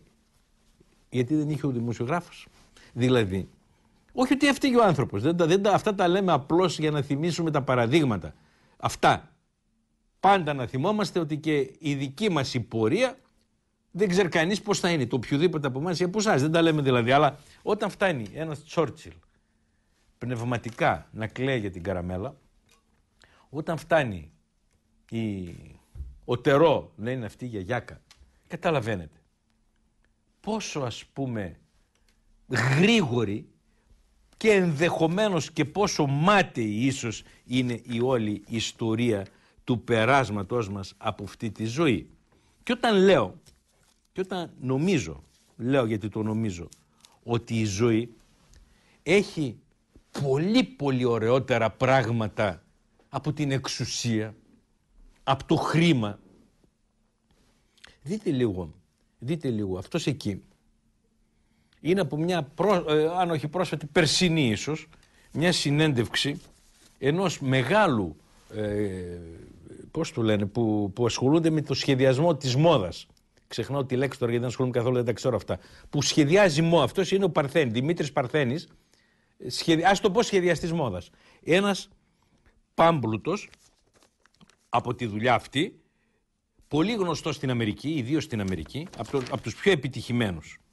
Και διάβαζα λοιπόν μια μέρα, ας την πάρω με την εικόνα, απλώς για να το θυμηθείτε, όσοι έχετε τέτοιου είδους γνώσεις, γιατί εγώ δεν, δεν ασχολούμαι, δεν τα ξέρω αυτά καθόλου. Αλλά εκείνο που έχει εξαιρετικό ενδιαφέρον σε αυτή τη συνέντευξή του, αυτού του πολύ επιτυχημένου και πολύ πλούσιου ανθρώπου, κάπου λοιπόν λέει, λοιπόν, λοιπόν, ε, το έχω δει αυτό σε όλη τη ζωή μου, κάτι τον ρώταγε ο δημοσιογράφος σχετικό. Ε, σε όλη τη διάρκεια της μέχρι τώρα ζωής μου. Έζησα την ύλη πάρα πολύ και ελευθερώθηκα από αυτήν. Έχω καθαρό μυαλό, καθαρή σκέψη και ονειρεύομαι την απλότητα. Μεγάλωσα, ξεμπλοκάρισα, ε, έφυγα από το κυνηγητό της business. Δεν θέλω πια να αποδείξω τίποτα, ούτε στους πελάτες, ούτε στους φίλους. Τώρα ξυπνάω το πρωί και κυνηγάω τον ήλιο. Πέφτω στη θάλασσα και προσπαθώ να γίνομαι κομματάκι του σύμπαντος. Ζω οκτώ μήνες του χρόνου στο νησί. Δεν χάνω ούτε ένα ηλιοβασίλεμα. Εάν το σκεφτείτε αυτό το πράγμα, αν το σκεφτείτε αυτό το πράγμα, θα καταλάβετε, γιατί εγώ συμφωνώ απολύτως με αυτό, δηλαδή σαν το ηλιοβασίλεμα, τυχαία, σαν τη φύση, σαν, το, σαν την ανατολή του ήλιου, σαν του δάσους, να περάσει κανείς κάποιες ώρες κοντά σε όλα αυτά ή κάποιες μέρες. Δεν υπάρχει τίποτα. Και νομίζω, νομίζω, επειδή πιστεύω κάτι που είναι στον αντίποδα εντελώς της σημερινής κατάστασης σε σχέση με τον χρόνο, πιστεύω ότι ο μόνος κερδισμένος χρόνος είναι αυτός. Είναι αυτός. Και όχι εκείνος τον οποίο καταδαπανούμε στις ψεύτικες ανάγκες στο, στο, στην 20ωρη δουλειά για να πάρουμε του τάδε πολυτελές εξοχικό ή του τάδε πολυτελές αυτοκίνητο και όλα αυτά τα σχετικά. Γιατί, γιατί του χρήμα και έβλεπα πάνω σε αυτά που λέγαμε για το χρήμα πόσο έολη είναι πόσο έολο είναι αυτό το κυνηγητό. Μόλις χθες ή σήμερα, σήμερα, με συγχωρείτε, Δευτέρα 13 Ιανουαρίου, σήμερα, ένα, μια απίστευτη, ε, ας πούμε, ένα απίστευτο ρεπορτάζ που πόσο αποδεικνύει αυτά που λέμε τώρα. Διαβάζετε τις περιπέτειες ενός Φιλιππίδη, αυτό που κυνηγούσαν από εδώ και από εκεί, τον βρήκαν στην Τουρκία, μια ιστορία με το ταμιευτήριο, δεν μας ενδιαφέρει, τουλάχιστον δεν μας ενδιαφέρει του παρόντος. Τον βρήκαν στην Τουρκία, τον φέραν, τον κάναν. Δείτε λίγο την επόμενη εικόνα. Από, αυτός λοιπόν από την εκτείναξη στην κορυφή στις φυλακές του Μαλτεπέ, Το Μάλτεπε είναι μια πόλη της Τουρκίας όπου έχει φυλακές. Τον πιάσα λοιπόν εκεί. Δεν μας ενδιαφέρουν τα υπόλοιπα, τουλάχιστον επί του παρόντος. Α πάρουμε την εικόνα. Και έχει λοιπόν ένα. Αυτός λοιπόν κα, κατηγορείται, δεν λέω ούτε είναι ένοχος ούτε δεν είναι. σω αν κάνουμε κανένα σχολιασμό της επικαιρότητας, θα πούμε και γι' αυτό πολλά πράγματα που θα εκπλαγείτε. Αλλά επί του παρόντος δεν μας ενδιαφέρει. Τον, τον κατηγορούν λοιπόν ότι έφαγε ένα σωρό λεφτά και τα λοιπά. Να βρέθηκε στις φυλακές και θα έρθει στην Ελλάδα και μάλλον πάλι στις φυλακές θα πάει. Και σε αυτό το ρεπορτάζ λοιπόν μιλούν διάφοροι γι' αυτόν και ας δούμε την επόμενη εικόνα γιατί είναι απίστευτο. Ας δούμε με τα ίδια μας τα μάτια. Θυμούνται λοιπόν οι τότε συμμαθητές του ότι έλεγε το χρήμα είναι ο Θεός μου. Το χρήμα είναι ο Θεός μου. Ε, λοιπόν, εάν το χρήμα είναι ο Θεός, ας πάρουμε την εικόνα, είναι αυτό που λέμε ότι δεν μπορείς να δουλεύεις σε δύο κυρίους και στο Θεό και στο Μαμονά. Το χρήμα, κατά την ορολογία τη γνωστή σε εσάς, είναι ας πούμε ο Μαμονάς. Δεν μπορεί, δι συγκυρίεις δουλεύει, δεν μπορεί δηλαδή και να υπηρετείς και το Θεό και το Μαμονά. Όταν λοιπόν έρθεις και πεις ευθέως, ευθέως. Ξέρετε, εμένα ο Θεός μου είναι το χρήμα. Αυτό τι σημαίνει, ότι πιστεύω σε αυτό το πράγμα ως Θεό θα κοιτάξω με κάθε τρόπο να το αποκτήσω, θα κοιτάξει αυτό, θα κοιτάξει εκείνο, θα κοιτάξει το άλλο. Αυτός τα κοίταξε όλα αυτά. Θυμάστε μια άλλη έκφραση, τώρα παρένθεση κάναμε αλλά να τώρα στη ζωντανή εκπομπή, το ένα φέρνει το άλλο. Οψώνια της αμαρτίας, θάνατος. Όχι κυριολεκτικά, ευτυχώς στην Ελλάδα, αλλά έστω και μεταφορικά. Όσα εκατομμύρια και να έχει, αν τα κλέψε πράγματι ο άνθρωπος, αν, αν, αν δεν έχει γίνει δίκη. Αλλά λέμε, όπως όπως λέει το ρεπορτάζ. Όσο και να κλέψει, όσο και να του λάτρεψες λοιπόν του μαμονά, γιατί λέει παρακάτω, να μην σας το διαβάσει ολόκληρο, είναι αρκετό. Λέει παρακάτω, τι δουλειές έκανε, τι δουλειές έκανε για να βγάλει αυτά τα χρήματα νομίμως, αρχικά παρανόμως στη συνέχεια. Δεν λέει μέσα βέβαια αλλά είναι αυτονόητο, δεν του λέει το ρεπόρτερ, ούτε κάτσε να κάνει κανένα λογαριασμό ο συντάκτης, αλλά ο ρεπόρτερ μάλλον, αλλά καταλαβαίνει κανείς που διαβάζει ότι αυτός ο άνθρωπος, αυτός ο άνθρωπος, ζήτημα, ζήτημα να κοιμόταν τρεις ώρες το 24ωρο. Και όταν λοιπόν όλο σου το χρόνο τον έχεις καταδαπανίσει θυσιάζοντας το Θεό σου, το χρήμα, ε, θα μπορούσε κανείς να πει όχι με καμιά δόση χερεκακίας, απλά και μόνο διαπιστωτικά ε, να και τα αποτελέσματα. Να και τα αποτελέσματα. Και λέω τώρα, σκέφτομαι για όλους αυτούς. Για όλους. Όχι μόνο τον τελευταίο αυτόν του Φιλιππίδη που του λένε. Για όλους όσους κυνηγάν τώρα για τα εξοπλιστικά, για τις μίζες, για το ένα, για το άλλο, για το παράλληλο. Που όλη τη ζωή τη φάγανε στο κλέψιμο. Αν τους καταδικάσουν κιόλας κάποιους από αυτούς και την υπόλοιπη ζωή τους τη φάνε στη φυλακή. Εύλογα να ρωτιέμαι νομίζω εύλογα, δεν θα ήταν και για τους ίδιους πια, όχι για τη δική μου την άποψη που ήδη σας την έχω πει, δεν θα, έρθει, δεν θα έρθουν κάποτε εις εαυτόν, δεν θα πούν ίσως την ώρα της περισυλλογής, όπου βρεθούν, έστω ακόμα και εκεί που η δικαιοσύνη τους πηγαίνει, δεν θα πούν ότι πολύ καλύτερα θα ήταν να είχα περάσει τη ζωή μου αλλιώς, να δουλεύω τις 5-6 ώρες την ημέρα, να είμαι τις υπόλοιπες με τα παιδιά μου. Να είμαι τις Κυριακές τι εκδρομές μου. Να είμαι από εδώ, να είμαι από εκεί με την οικογένειά μου. Με τους φίλους μου. Αν ένας δεν έχει οικογένεια, μετά ένα μετά άλλο. Δεν θα ήταν ίσως πολύ καλύτερα. Και διάβαζα μια μέρα για αυτό ακριβώς το θέμα. Για κοιτάξτε έγραφε για τον, για, συγγνώμη, για τον Σαντάμ. Θυμάστε που τον κυνηγούσαν οι Αμερικάνοι, κρύφτηκε σε ένα λαγούμι μέσα κάμποσε εβδομάδες, σε μια τρύπα μέσα, ο Σαντάμ, ο Μέγας Σαντάμ. Και τον βρήκαν οι Αμερικάνοι και τον εκτέλεσαν μετά. Τα θυμάστε ίσως αυτά. Και έγραφε λοιπόν. Λοιπόν, υποθέτω εκεί μέσα λέει στη Λακούβα που κρυβόταν με τα γένια, θυμάστε πώς τον βρήκαν. Υποθέτω αισθανόταν κάτι που αν του είχε αισθανθεί έστω και μια φορά εν τη ακμή του, ίσως είχε γλιτώσει τελικά. Ότι σήμερα είσαι ο Νάσης και αύριο Θανάσης. Ότι τα μεγαλεία περνάνε σαν καπνός. ότι η δύναμη που με τόσο κόπο συγκεντρώνεις, με τόση ατιμία, μισανθρωπία και έγκλημα, ισολογίζονται με ένα στραβοπάτημα, ένα έλκος, μια κεραμίδα, ένα μικρόβιο που δουλεύει ανύποπτο, τη ζήλια ενός γείτονα, μια μαρμαριγή ή ένα φύσιμα στην καρδιά, ένα βλακώδες τροχαίο, τη μνησικακία του Μπούς επειδή πρόσβαλε στον πατέρα του. Έτσι κάνουν όλοι. Ακόμα και εκείνοι που έχουν κατά φαντασία δύναμη. Μεθούν από υπεροψία. Τα θυσιάζουν όλα. Τους προδίδουν όλους για ένα πρώτο τραπέζι πίστα.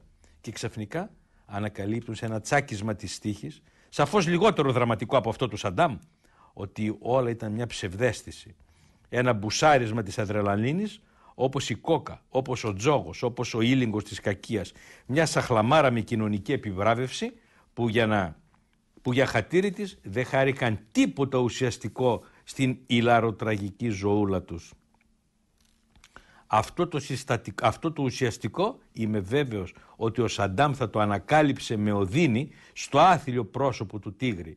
Στο, στο άθλιο, συγγνώμη, παράσπιτο του τίγρη. Εκεί σε ένα καλύβι μέσα κάτω από τη γη που ήταν αφού θα είχε δει πτώματα των γιών του σε κάποια εφημερίδα, άπλητος, προγραμμένος, τελειωμένος, θα διαισθάνθηκε ότι ενδεχομένως αξίζει να ζούμε τη ζωή μας με άλλο τρόπο και για άλλα πράγματα. Σε αυτές τις ώρες της κρίσης, πριν από το, θάνα, πριν από το θάνατο, που ο άνθρωπος βλέπει εκείνο που δεν είχε δει ποτέ του, ίσως ο δολοφόνος να είδε στον ουρανό τα άστρα, ίσως να ένιωσε ευγνωμοσύνη για το ψωμί που του έδωσαν οι τελευταίοι φίλοι του, αλλά ήταν πλέον αργά, πολύ αργά, αφού σημασία έχει να ποντάρεις από την αρχή στην αγάπη και το μέτρο, τότε που όλα παίζονται. Αυτό άλλωστε είναι και το νόημα της πίστης, που δεν είναι άλλο από μια συντονισμένη κίνηση των, των ανθρώπων να μπατάρουν το σαπιοκάραβο του κόσμου προς κάποια ακτή. Βλέπετε λοιπόν, λέει εδώ, σε αυτό το άρθρο, ο Γιώργος Χρονάς, ότι ακόμα και αυτός, ακόμα και αυτός κάποια στιγμή θα σκέφτηκε και λέει παρακάτω κι αυτός από τους άθλιους του σπιτάκι του βλέποντας απέναντι του ηλιοβασίλεμα στον Τίγρη τον ποταμό του που περνάει μέσα από την αυτήν που ήταν ε, μέσα από τη Βαγδάτη ακόμα και τότε θα σκέφτηκε τι έχασε σε αυτή τη ζωή ε, και βέβαια το χρήμα που όπως λέει εδώ για κοιτάξτε ένα, ένα αυτό του Κόντογλου σχεδόν άγνωστο δεν είναι από τα δημοσιευμένα του Κόντογλου του Φώτη Κόντογλου. Α, κάτι που σας έλεγα πριν. Και εκείνος που αμφιβάλλει για αυτά που λέμε, ας κοιτάξει τι λέγει το Ευαγγέλιο, δεν μπορείτε να δουλεύετε σε δυο αφεντικά, στο Θεό ή στον Μαμονά. Ή τον έναν θα αγαπήσετε ή τον άλλον. Το χρήμα βέβαια είναι ένα πράγμα χρειαζόμενο για να ζήσουν οι άνθρωποι, εξυπηρετώντας ο ένας τον άλλον. Αλλά η φιλαργυρία από υπηρέτη του ανθρώπου του κάνει τύρανό του. Είναι σαν του κρασί που είναι καλό σαν πίνεται με μέτρο, μα γίνεται φαρμάκι σαν πίνεται με αχορταγιά. Το χρήμα σαν γίνει πάθος είναι το πιο τρομερό και καταραμένο πράγμα. Όλα τα εγκλήματα, όλα τα φωνικά, όλες οι αιματοχυσίες και οι άλλες αμέτρητες δυστυχίες της ανθρωπότητας αιτία έχουν το χρήμα, το συμφέρον. Πάντα οι άνθρωποι αγαπούσαν το χρήμα. Σήμερα όμως η αγάπη αυτή έχει γίνει μια τυραννία φρικτή ο βαρύς ίσιο του σκέπασε ολότελα την ψυχή των ανθρώπων και δεν άφησε κατά μέρος, κανένα μέρος της έξω από τον φαρμακερό ίσιο του. Και, και λέει και λέει πολλά για το χρήμα. Ε, και εκτός από το χρήμα που θα μου πείτε τώρα βέβαια ο κύριος για τον οποίο μιλήσαμε προηγουμένως αυτόν που τον πιάσαν και τον έχουν στο Μάλτεπε στην Τουρκία θα έχει διαβάσει Κόντογλου. Πιθανώς όχι. Και πιθανώς και να το έχει διαβάσει στα νιάτα του ή όποτε διδασκόταν ο Κόντογλου να μην είχε πέσει απάνω σε αυτό το εδάφιο. Αλλά σημασία έχει ότι ορισμένα πράγματα πρέπει κανείς να τα καταλαβαίνει είτε διαβάσει Κόντογλου είτε δεν διαβάσει. Γιατί, γιατί όλα αυτά και αυτά που όσο προλάβουμε θα δούμε και γύρω, είναι γύρω μας. Όλα αυτά είναι γύρω μας. Δεν είναι ανάγκη να μας το πει ο Κόντογλου για να το καταλάβουμε. Και αυτό που σας είπα για το ηλιοβασίλεμα λίγο παρακάτω ακούστε το αυτό για αιώνες ολόκληρους, για αιώνες ολόκληρους ο άνθρωπος ξυπνούσε με την ανατολή του ήλιου και ζούσε το ηλιοβασίλεμα. Αυτό που ποτέ δεν το βλέπουμε μέσα στις πόλεις. Το ζούσε το ηλιοβασίλεμα. Πόσο ποιητικά εκφράζει ο λαός μας τη μεγαλοπρέπεια που έχει εκείνη η ιερή ώρα λέγοντας πως ο ήλιος βασιλεύει. Αληθινά, ποιος βασιλιάς ντύθηκε ποτέ με τέτοια πορφύρα; Θα έλεγε κανένας πως δεν είναι ο ήλιος αυτός ο βασιλιάς, αλλά ο Χριστός, ο βασιλεύς των βασιλευόντων. Έχουν την ιδέα μάλιστα πως ο ευλαβής λαός μας, λέγοντας «Ο ήλιος ευασίλεψε», επήρε τα λόγια γυρίζοντάς τα από το προκείμενο που λέγει ο ψάλτης του Σαββατόβραδος στον Εσπερινό. Ο Κύριος ευασίλευσεν ευπρέπειαν ενεδίσατο. ίσια ίσια την ίδια ώρα που βασιλεύει ο ήλιος.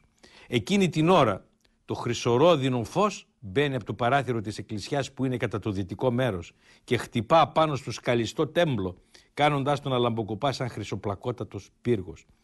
Λίγο πριν από το προκείμενο, λέγει ο ψάλτης ή κανένας καλόγερος ή κανένας ταπεινός αναγνώστης, το φως ηλαρών εκείνων των θεσπέσιων εσπερινών ύμνων. Και καταλαβαίνετε τώρα, αυτά που έγραψε ο Κόντογλου πριν 50 χρόνια, πώς συνδέονται, πώς συνδέονται με αυτό που είπε μόλις πρόσφατα ο σχεδιαστής μόδας, ένας άνθρωπος από έναν εντελώς διαφορετικό χώρο από τον χώρο προελεύσεως του Κόντογλου. Δεν έχω χάσει, όταν ήρθα στα σύγκαλά μου, δεν έχω χάσει ούτε ένα ηλιοβασίλεμα. Καταλαβαίνετε λοιπόν, καταλαβαίνετε λοιπόν ποιες είναι οι πραγματικές απολαύσεις αυτής της ζωής, τις οποίες για κάποιους λόγους, ανάγκης πείτε, αστεί, αυτό πώς το λέμε, αστιφιλίας, όπως θέλετε πείτε το, τα χάσαμε αυτά με τη ζωή μας, στη ζωή μας, για να κυνηγάμε αυτά που κυνήγαγε ο Φιλιππίδης, λέμε κοιτώναμε τώρα, δεν διαπράττουμε καμιά αυτή, γιατί το λένε και οι τηλεοράσεις, το λένε μέρα νύχτα. Αυτά που κυνήγαγε ο Φιλιππίδης, αυτά που κυνήγαγαν αυτοί που είναι μέσα, αυτά που κυνήγαγε ο Τσοχατζόπουλος, λέμε τώρα αυτά που είναι τα γνωστά. Να φας τη ζωή σου λοιπόν, να κυνηγάς, να θυσιάσεις το χρόνο σου, να θυσιάσεις το χρόνο, τη ζωή σου για τα λεφτά. Και μάλιστα ποια λεφτά. Όχι τον επιούσιο που θα μπορούσε να πει κανείς να έχει και κανένα αυτό για τα παιδιά του, να ζήσει τα παιδιά του.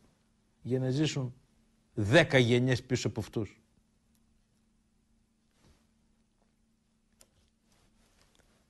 Βέβαια θα μου πεις, θα μου πείτε, αν τα έλεγε κανείς αυτά που λέμε τώρα, σε κάποιον από δάφτους, το πιθανότερο, το 99% των πιθανότητων, θα ήταν να γελάσει.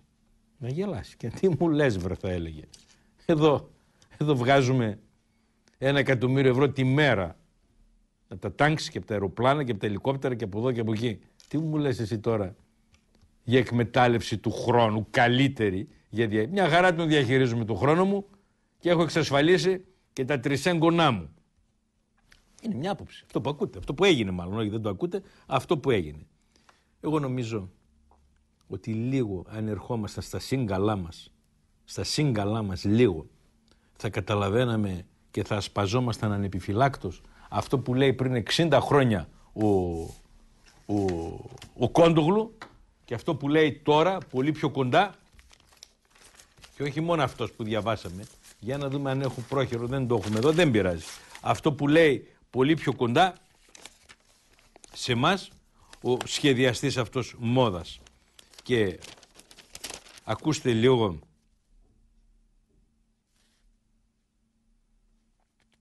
ένα άρθρο της Καθημερινής. Πλούσιος πάντα ο τόπος, γενναιόδωρος, δημοκρατικός. Δίνεται σε όλους, δίνει τα ουσιώδη, ομορφιά και συνείδηση, δίνει, μα πρέπει να μπορείς να λάβεις. Να μπορείς να αναγνωρίσεις το δόσιμο, να αντιληφθείς το δώρο να λάβεις τη χάρη για να απολαύσεις και να ταπεινωθείς, για να χαρείς και να υψωθείς και να τα σκεφτείς. Και πολλά και πολλά παρακάτω, αλλά ακριβώς ο τόπος, η φύση, η κτήση, να το πούμε ακόμα πιο σωστά, η κτήση, η φύση. Είναι στενότερη έννοια, αλλά για να καταλαβαίνόμαστε πιο εύκολα. Δίνει απλόχερα. Απλόχερα. Κάθε ηλιοβασίλεμα υπάρχει στη θέση του. Κάθε βράδυ, κάθε πουτάμι ρέει εκεί που ρέει. Κάθε δάσος υπάρχει εκεί που υπάρχει. Εμείς αρνούμαστε να τα δεχτούμε. Λέω γραμματικάκης κάπου για το καλοκαίρι. Προσφέρει απλόχερα η φύση και τα λοιπά. Θάλασσες πολυπίκυλες και αρώματα βουνών. Μνημεία μοναδικά που πυρπολούνται από ένα λαμπρό ήλιο. Ήσυχες γωνιές ή πολύβουα πανηγύρια στα χωριά. Όλα υπάρχουν στο ελληνικό καλοκαίρι. Όλα συντίθεται σε έναν πίνακα που δεν έχει τελειωμό. Η μία πτυχή του συμπληρώνει την άλλη. Το ένα χρώμα σβήνει απαλά για να κυριαρχήσει το άλλο. Ο Έλληνας του καλοκαιριού χαίρεται την απελευθέρωσή του από τα μνημόνια και τα δεινά τους και ανακαλύπτει πάλι τα ζωογόνα παιχνίδια του φωτός στα πρόσωπα και στο χρόνο. Και άλλα πουλά λέει και για τις μικρές αυτές τις καθημερινές χαρές της ζωής. Τις καθημερινές. Μια, για μουσική βέβαια, μια συνέντευξη του Σαββόπουλου. Ας αφήσουμε προς στιγμή το κομμάτι της μουσικής. Του λέει ο δημοσιογράφος, θυμάσαι κάτι γλυκό έτσι ευχάριστο στη ζωή σου. Ήταν για μουσική το θέμα. Προφανώς ο άνθρωπος θα περιμένει να του πει για καμιά συναυλία και καμιά επιτυχία και καμιά αυτή να πούμε. Και απαντάει ο Σαββόπουλος, όταν ήμουν παιδί πηγαίναμε την Κυριακή στο Μπαχτσέ Τσιφλίκη. Μπαχτσέ Τσιφλίκη είναι μια κτή απέναντι από τη Θεσσαλονίκη, αυτό που σήμερα το λένε νέους επιβάτες. Πηγαίναμε στο Μπαχτσέ Τσιφλίκη με το πλοίο της γραμμής. Καλοκαίρι, ακορντεόν, λαχιοφόρος με ροφό, πανδεσία. Και καθώς έτσι αργά, αργά πήγαινε να δέσει στην ξύλινη αποβάθρα, έβλεπε στα ολοκάθαρα νερά τις πτυχές της Σάμου και τους κολυμβητές να χαιρετούν τους φίλους που έσκυβαν πάνω από το κατάστρωμα. Και όλα αυτά, το πλοίο, η σκάλα, ο βυθός, οι κολυμβητές, το ακορντεόν, ήταν μια τρομερή εμπειρία φωτός, η οποία, την οποία συχνά επιστρατεύω όταν είμαι στενοχωρημένος. Έρχεται και με σηκώνει. Και σας βεβαιώνω ότι αυτό που λέει ο Σαββόπουλος Εκατοντάδες φορές το έχουμε ζήσει κι εμείς ως παιδιά, ακριβώς το αυτό. Και βλέπετε, και βλέπετε, αυτά μένουν, αυτά μείναν στη μνήμη. Όταν του ζητάει λοιπόν του Σαββόπουλου να πει κάτι σημαντικό που του έμεινε στη μνήμη, του, του πετυχημένου μουσικού, δεν λέει αυτό που θα περιμέναμε οι αναγνώστες του περιοδικού αυτού. Λέει αυτό, λέει αυτό, που περίπου, θα έλεγα κι εγώ αν με ρωτούσε κανείς, δηλαδή οι μικρές χαρές της ζωής είναι οι μεγάλες χαρές τελικά. Και έτσι, επειδή μιλήσαμε για τη φύση, για τους χρόνους της φύσης, για το ότι κάπως πρέπει στη διαχείριση αυτού του χρόνου να έχουμε μέσα οπωσδήποτε τη φύση και μιλήσαμε, τι μιλήσαμε, δηλαδή φέραμε στο φως.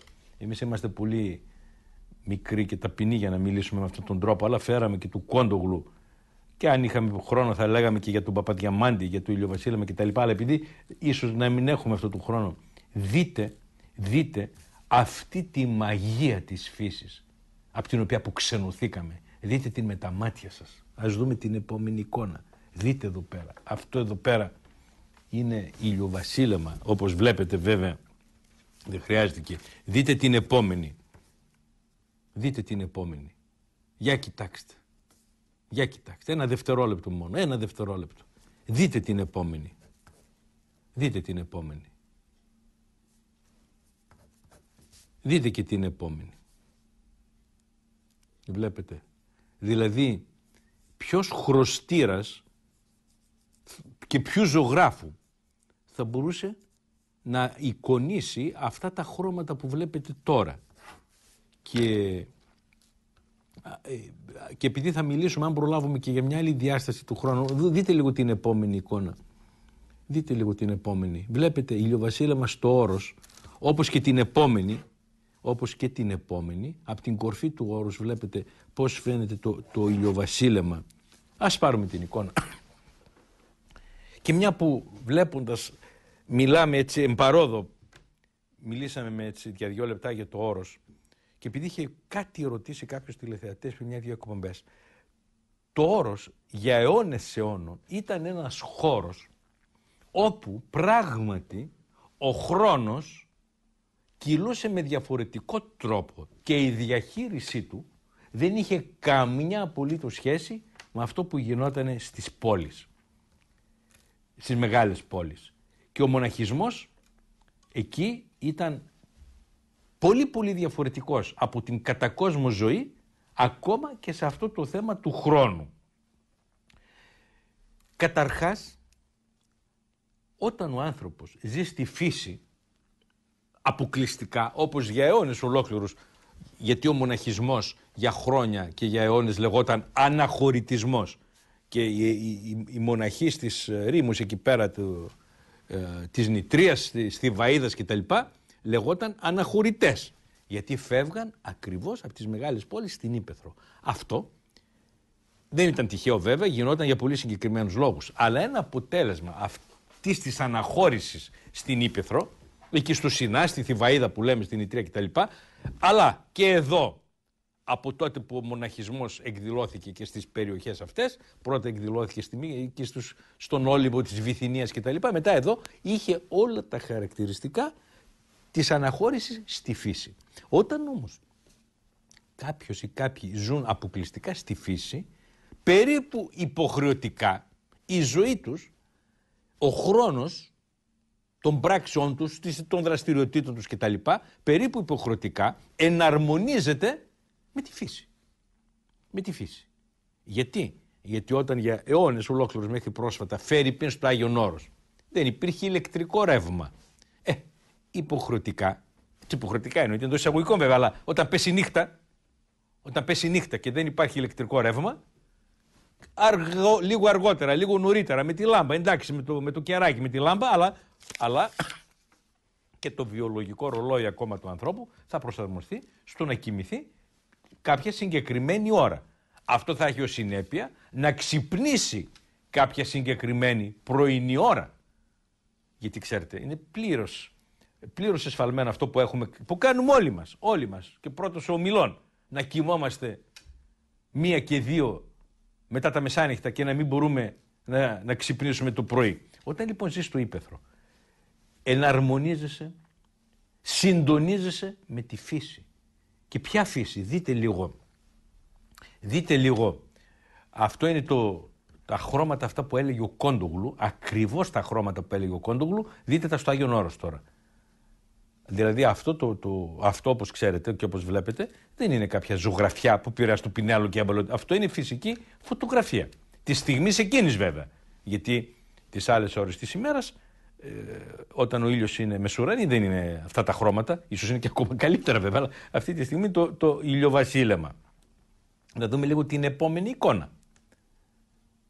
Και δείτε, μέσα στη φύση, μέσα στα πράσινα, μέσα στην... Ας δούμε και την επόμενη. Ας δούμε και την επόμενη. Βλέπετε εδώ πέρα ε, των ερημητών τα σπιτάκια στο Άγιον Όρος εναρμονισμένα μέσα στο, στο βράχο ε, που μόλις που διακρίνονται από μακριά. Αυτό ήταν οι ερημίτες, όχι απλώς αναχωρητές, οι ερημίτες των παλιών χρόνων. Για δείτε και την επόμενη εικόνα, η οποία αυτή η εικόνα δεν είναι, δεν είναι, ζωγραφική, δεν είναι πίνακα ζωγραφικής, είναι με εκκλησιά στο μολυβδοσκέπαστο. Βλέπετε πώς είναι δεμένη η κατασκευή αρχιτεκτονική ας πούμε πώς είναι δεμένη απολύτως με το περιβάλλον ας πάρουμε την εικόνα αυτή και, και μια που μιλάμε ε, για το όρος πάρα πολλά έχετε ακούσει και έχετε διαβάσει και έχετε ζήσει για το Άγιον Όρος κυρίως το καλοκαίρι, την άνοιξη και το καλοκαίρι που είναι ο καιρός.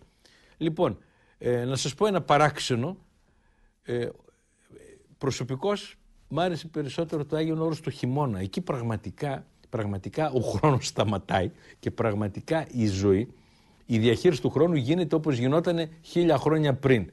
Και να δούμε, να δούμε μαζί δύο-τρεις αυτές από αυτή την ηρεμία, αυτή την, ε, τη σιγανή ροή του χρόνου, ιδίως, ιδίως, ας δούμε λίγο, ιδίως όταν χιονίζει, για κοιτάξτε ένα προσκυνητάρι ε, χιονισμένο και δείτε κάτι, κάτι εικόνες χειμωνιάτικες, για δείτε τες, όπου εδώ η ζωή πραγματικά, αυτή είναι, αυτό είναι το βηρητικό κελί, ε, μέσα στα χιόνια, μέσα στα χιόνια από κάποιον χειμώνα βαρύ που είχαμε εδώ πάνω στη Μακεδονία. Ε, δείτε και την επόμενη εικόνα. Εδώ είναι η σκήτη του Αγίου Ανδρέα. Εδώ βλέπετε αυτή την ηρεμία, αυτή, εδώ δεν είναι ρωσικό τοπίο, είναι η σκήτη του Ανδρέα, εδώ πολύ κοντά μας, σε πολύ πολύ μικρή απόσταση από τη Θεσσαλονίκη. Ε, και παίρνοντας αυτή την εικόνα, να σας πω και το εξής. Οι χρόνοι, τώρα να πάμε στο, στο, στον αντίποδα εντελώς αυτού του πράγματος που λέγαμε στην αρχή της εκπομπής, πόσες μελέτες γίνονται και πόσα για να εξοικονομηθούν 1,5 λεπτό, 2 λεπτά από την επιβίβαση του, να τρέχουν σαν τρελοί άνθρωποι στο αεροπλάνο, να τρέχουν σαν τρελοί να βγουν, βγαίνοντας από το αεροπλάνο ακόμα πιο πολύ να τρέχουν για να τελειώσουν και να διεκπαιρεώσουν τις δουλειές τους κτλ.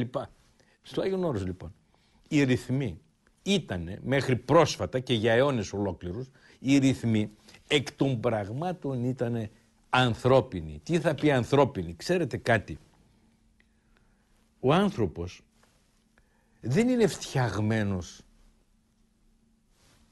από τη δημιουργία. Δεν είναι φτιαγμένος για να κινείται με χίλια χιλιόμετρα την ώρα. Δεν είναι φτιαγμένος. Ούτε με 800, ούτε με 900, ούτε με 1000. Ο άνθρωπος είναι φτιαγμένος για να κινείται με βάση είτε τις προσωπικές του δυνατότητες είτε τις δυνατότητες που του παρέχει η ίδια η φύση. Απ' την ώρα όμως που εφευρέθηκαν αυτά τα μέσα, αυτά κατά ένα μεγάλο μεγάλο ποσοστό διευκόλυναν τη ζωή μας. Θα ήταν κανείς κακόπιστος εκτός πραγματικότητας να μην το παραδεχθεί. Απ' την άλλη όμως δυσκόλεψαν τη ζωή μας. Σε, άλλα, σε άλλους τομείς την διευκόλυναν, σε άλλους τη δυσκόλεψαν. Το κυνηγητό λοιπόν του χρόνου η κατασπατάληση του χρόνου κατά κάποιον τρόπο βοηθήθηκε και από αυτές τις ανάγκες που, που δημιουργήσαμε. Γιατί, γιατί όταν ο άνθρωπος υπερβαίνει κάποια όρια ακόμα και στην ταχύτητα αυτό είναι σε βάρος και, και του ίδιου του, του οργανισμού. Δεν ξέρω αν έχετε ακούσει, δεν θα πούμε πολλά σε αυτό, είναι αμυγός ιατρικό θέμα και μάλιστα μιας εξειδικευμένης ιατρικής ειδικότητας. Θα έχετε ακούσει όμως τη λέξη jet lag, τον όρο αυτόν τον διεθνή. Την, την αποδιοργάνωση του οργανισμού, του ανθρώπινου, όταν κινείται από ήπειρο σε ήπειρο και από αυτό με πολύ μεγάλες ταχύτητες, όπως με τις ταχύτητες αυτές των αεροθουμένων ο οργανισμός καταπονείται, καταβάλλεται και έχει, και έχει εντοπιστεί ειδική παθολογική οντότητα που με μια λέξη, τώρα αυτό είναι συμπτώματα βέβαια ευρύτερα και γενικότερα, με μια λέξη λέγεται jet lag. Εν πάση όμως περιπτώσει ας μείνουμε ή ας το αφήσουμε προς στιγμή στην άκρη. Να έρθουμε σε αυτό που λέγαμε πώς για αιώνες ολόκληρους συμφιλιωτικά ζούσε ο άνθρωπος με το χρόνο και με τη φύση. Για αυτού, όλους λοιπόν αυτούς τους αιώνες για παράδειγμα, στο όρος, μια που πιάσαμε το όρος, οι συγγενωνίες, οι συγγενωνίες γινότανε όπως γινόταν και πριν χίλια χρόνια και πριν δύο χιλιάδες χρόνια. Γινότανε, γινότανε με τα μουλάρια. Αυτό είναι μια φωτογραφία ενός αρσανά, ενός δηλαδή μουράγιου, λιμενίσκου, στο, στο κλέφτικο, ένα τέλος πάντων στην, ένα σημείο κλέφτικο λέγεται εκεί πέρα, ένα λιμανάκι, όπου Αυτά τα μουλάρια δεν περιμένουν εκεί για να περάσει η ώρα, έτοιμα με τα σαμάρια, περιμένουν για να φορτωθούν αυτά που θα κατεβάσει η βάρκα των τότε χρόνων, το μοτόρι το λεγόμενο των τότε χρόνων. Δηλαδή, ας πάρουμε την εικόνα βέβαια, ε, δηλαδή το μέσον μετακίνησης ήταν αποκλειστικά και για αιώνες το μουλάρι. Πράγμα που σημαίνει τι, ότι θέλοντας ή μη θέλοντας εκ των πραγμάτων, ο χρόνος ο ανθρώπινος ήταν προσαρμοσμένος και σε αυτό το δεδομένο. Και σε αυτό. Δηλαδή, όταν ένα αντικείμενο χρειαζόταν από, τη μια, από το μουράγιο, από το μουράγιο, από τον αρσανά που λέμε, για να πάει στη σκήτη χρειαζόταν δύο ώρες με το μουλάρι, να το φορτώσει το μουλάρι και να πάει δύο ώρες, τυχαία λέω το παράδειγμα, έπρεπε να γίνουν αυτές οι δύο ώρες. Δεν υπήρχε τρόπος να επιταχυνθεί αυτό το πράγμα. Η ζωή λοιπόν έπρεπε να προσαρμοστεί σε αυτό το δεδομένο. Για δείτε την επόμενη εικόνα. Αυτές τις παλιές βέβαια σκηνές. Βλέπετε, οι μοναχοί, όπως ήταν, πολλοί από αυτούς είχαν και την, ε, αυτή του, πώς το λέμε, το διακόνημα. Για να δούμε την επόμενη εικόνα. Για να δούμε την επόμενη εικόνα. Αυτό είναι το παλιό, αυτός είναι ο λεγόμενος Βουρδουνάρης με την παλιά ορολογία του Αγίου Όρους. Ένας δηλαδή μοναχός. Βλέπετε εδώ τους παλιούς αυτούς μοναχούς. Ένας μοναχός λοιπόν ήταν επιφορτισμένος με την περιποίηση των ζώων. Γιατί όπως καταλαβαίνετε και τα ζώα, κάποια περιποίηση, κάποια διατροφή, νερό, ξέρω εγώ τι άλλο χρειαζόταν αυτά. Υπήρχε ένας μοναχός που ήξερε ή εκπαιδευόταν σε αυτό το πράγμα και αυτός ήταν ο λεγόμενος Βουρδουνάρης. Ε, δείτε την επόμενη εικόνα που είναι εκατοντάδες τέτοιες έτσι γλυκές, χαριτωμένες εικόνες των χρόνων εκείνων που οι σύντροφοι των μοναχών, τουλάχιστον στις μεταφορές ε, των βαρέων αντικειμένων, ήταν τα, τα μουλάρια. Δείτε, δείτε λίγο και την επόμενη εικόνα. Επίσης εδώ ακριβώς το ίδιο πράγμα. Και, α, συγγνώμη, βλέπω, ε, ας την πάρουμε την εικόνα, ας την πάρουμε. Βλέπω τώρα, πρόσεξα, λίγο πέρασε και η 10 και μισή. Ας, ας, ας βάλουμε το 2, ας βάλουμε το 729-219 ούτως ώστε αν κάτι θέλετε να προσθέσετε, γιατί βλέπω ότι μάλλον, επειδή είπαμε θα πούμε και για την ανθρώπινη μοίρα κτλ., μάλλον θα το συνεχίσουμε την επομένη εβδομάδα το θέμα. Αλλά, εν πάση περιπτώσει, αν θέλετε κάτι να πείτε τώρα, ευχαρίστως να το πείτε. Ε, Παρακολουθώντας λοιπόν τους ρυθμούς της φύσης, ας δούμε και την επόμενη εικόνα. Παρακολουθώντας λοιπόν τους ρυθμούς της φύσης, αν μπορούμε να τη δούμε, αν όχι να το πούμε με λόγια, δηλαδή την, ε, το μάζεμα των ελιών, το μάζεμα των φρούτων, την, την σύνθλιψη των ελιών για αιώνες ολόκληρους, όλα αυτά τα πράγματα ανάγκαζαν τους ανθρώπους να παρακολουθούν ένα ρυθμό χρονικό περίπου υποχρεωτικό και περίπου σύμφωνο με τη φύση. Η οποία φύση εννοείται έχει τους δικούς της ρυθμούς που δεν μπορεί κανείς να τους υπερβεί. Ας δούμε τώρα την επόμενη εικόνα. Βλέπετε λοιπόν και υπήρχαν για... και αυτό υπάρχουν ακόμα εικόνες έτσι ε, χαριτωμένες που θα έλεγα εγώ βλέπετε μοναχοί πως περιποιούνται οι ίδιοι τα φυτά πως μαζεύουν, για να δούμε και την επόμενη πως μαζεύουν αν μπορούμε να δούμε και την επόμενη ζώντας δηλαδή συμβιωτικά με τη φύση ζώντας μέσα στην κτήση για να δούμε και την επόμενη αν μπορούμε γιατί καμιά φορά η εικόνα δείχνει περισσότερο από τα λόγια. Αλλά δεν πειράζει, έτσι κι αλλιώ. Α, α, καλά. Βλέπετε εδώ τώρα πώς τα κίτρα ή λεμόνια τέλος πάντων, πώς σκαρφαλωμένος ο μοναχός μαζεύει τα φρούτα, τα οποία φρούτα εννοείται, αυτό που λέμε όταν ζεις συμβιωτικά με τη, φύση, με τη φύση, δεν τα μαζεύεις όπου τη θέλεις. Α πάρουμε την εικόνα βέβαια. Τα μαζεύεις όπου την η ώρα τους. Δηλαδή θέλοντας και μη θέλοντας, ήταν μορφές της ζωής, τυχαία τώρα μιλάμε για τον μοναχισμό, που θέλοντας ή μη θέλοντας ζούσες με τους χρόνους της φύσης. Δηλαδή, δεν δαπανούσες του χρόνο όπως δεν του διαχειριζόσουν του χρόνο που σ' άρεσε, του διαχειριζόσουν όπως απαιτούσε η φύση ή η κτήση γύρω σου. Κάτι ακόμα θέλω σε αυτό να πούμε ή θα δούμε τώρα πώς θα γίνει, να μην περιμένετε κι εσείς. Λοιπόν, σας ακούμε. Καλησπέρα και καλή χρονιά, κύριε Δόκο. Καλή χρονιά, χαίρετε. Συγχαρητήρια την εκπομπή σας και για τους συναδέλφους σας. Να είστε καλά. Αυτό που έχω να υφιστήσω την προσοχή σας είναι ότι ε, λειτουργείτε απλά λαϊκά και ζεστά όπως το θέλει η Ελλάδα αυτή τη στιγμή. Ένα αυτό. Ε, άλλα δύο σχόλια θέλω να κάνω για το συγκεκριμένο θέμα που αναφέρεστε. Ναι. Το πρώτο θέμα είναι ότι ο Τσιάνος δολοφονήθηκε από τον Μουσολίνη. Εκτελέστηκε. Ναι, ναι αυτό σας είπα. Ότι ο ένας κρεμάστηκε ναι, ε, ανάποδα στην αυτή της Βερόνας, στην δεν πλατεία, ο δε άλλος εκτελέστηκε. Δεν είπατε όμως ότι τον εκτέλεσε ο πεθερός του. Ε, πεθερός. Τι σημασία. σημασία λοιπόν, ένα αυτό. Πάει και αυτός. Και, ε, σίγουρα έχετε δίκιο. Και ένα δεύτερο που θέλω να πω είναι ότι οι αρχαίοι Έλληνες είχαν προνοήσει για, την, για, το, για το μέτρημα του χρόνου και είχαν πει δύο κουβέντες, δύο λέξεις. Χρόνου φίδου. Τίποτα ναι. άλλο. Ναι. Τίποτα άλλο. Αυτό έχω να σας πω. Έγινε. Να είστε καλά. Ευχαριστώ για την παρέμβαση. Και όπως είπαμε όμως στην αρχή, το χρόνο φίδου των αρχαίων Ελλήνων, ίσως ο κύριος κάποια λεπτά της ώρας δεν την παρακολούθησε εκείνη τη στιγμή την εκπομπή, το χρόνο φίδου, επειδή αυτό είναι μια, μια φράση η οποία περικλεί μέσα πάρα πολλά κείμενα, έχουν βρεθεί κτλ. Εννοούσαν την χρήση του χρόνου και όχι την παράχρηση. Κάποια στιγμή θα εξηγήσουμε τι είναι αυτό το πράγμα. Άλλο πράγμα είναι η χρήση, η χρήση ενός είτε αντικειμένου, είτε μιας έννοιας, είτε του χρόνου και άλλο πράγμα είναι η παράχρηση και η κατάχρηση. Αυτές είναι τυχαίες λέξεις, μοιάζουν λίγο μεταξύ τους, αλλά κάποια στιγμή που δεν θα, είναι, δεν θα περιμένουν τηλεθεατές εκεί στο τηλέφωνο, θα το εξηγήσουμε τι είναι. Λοιπόν, σας ακούμε, παρακαλώ. Ναι, γεια σας κύριε Λογοθέτη. Χαίρετε. Ε, σήμερα πήρατε άριστα.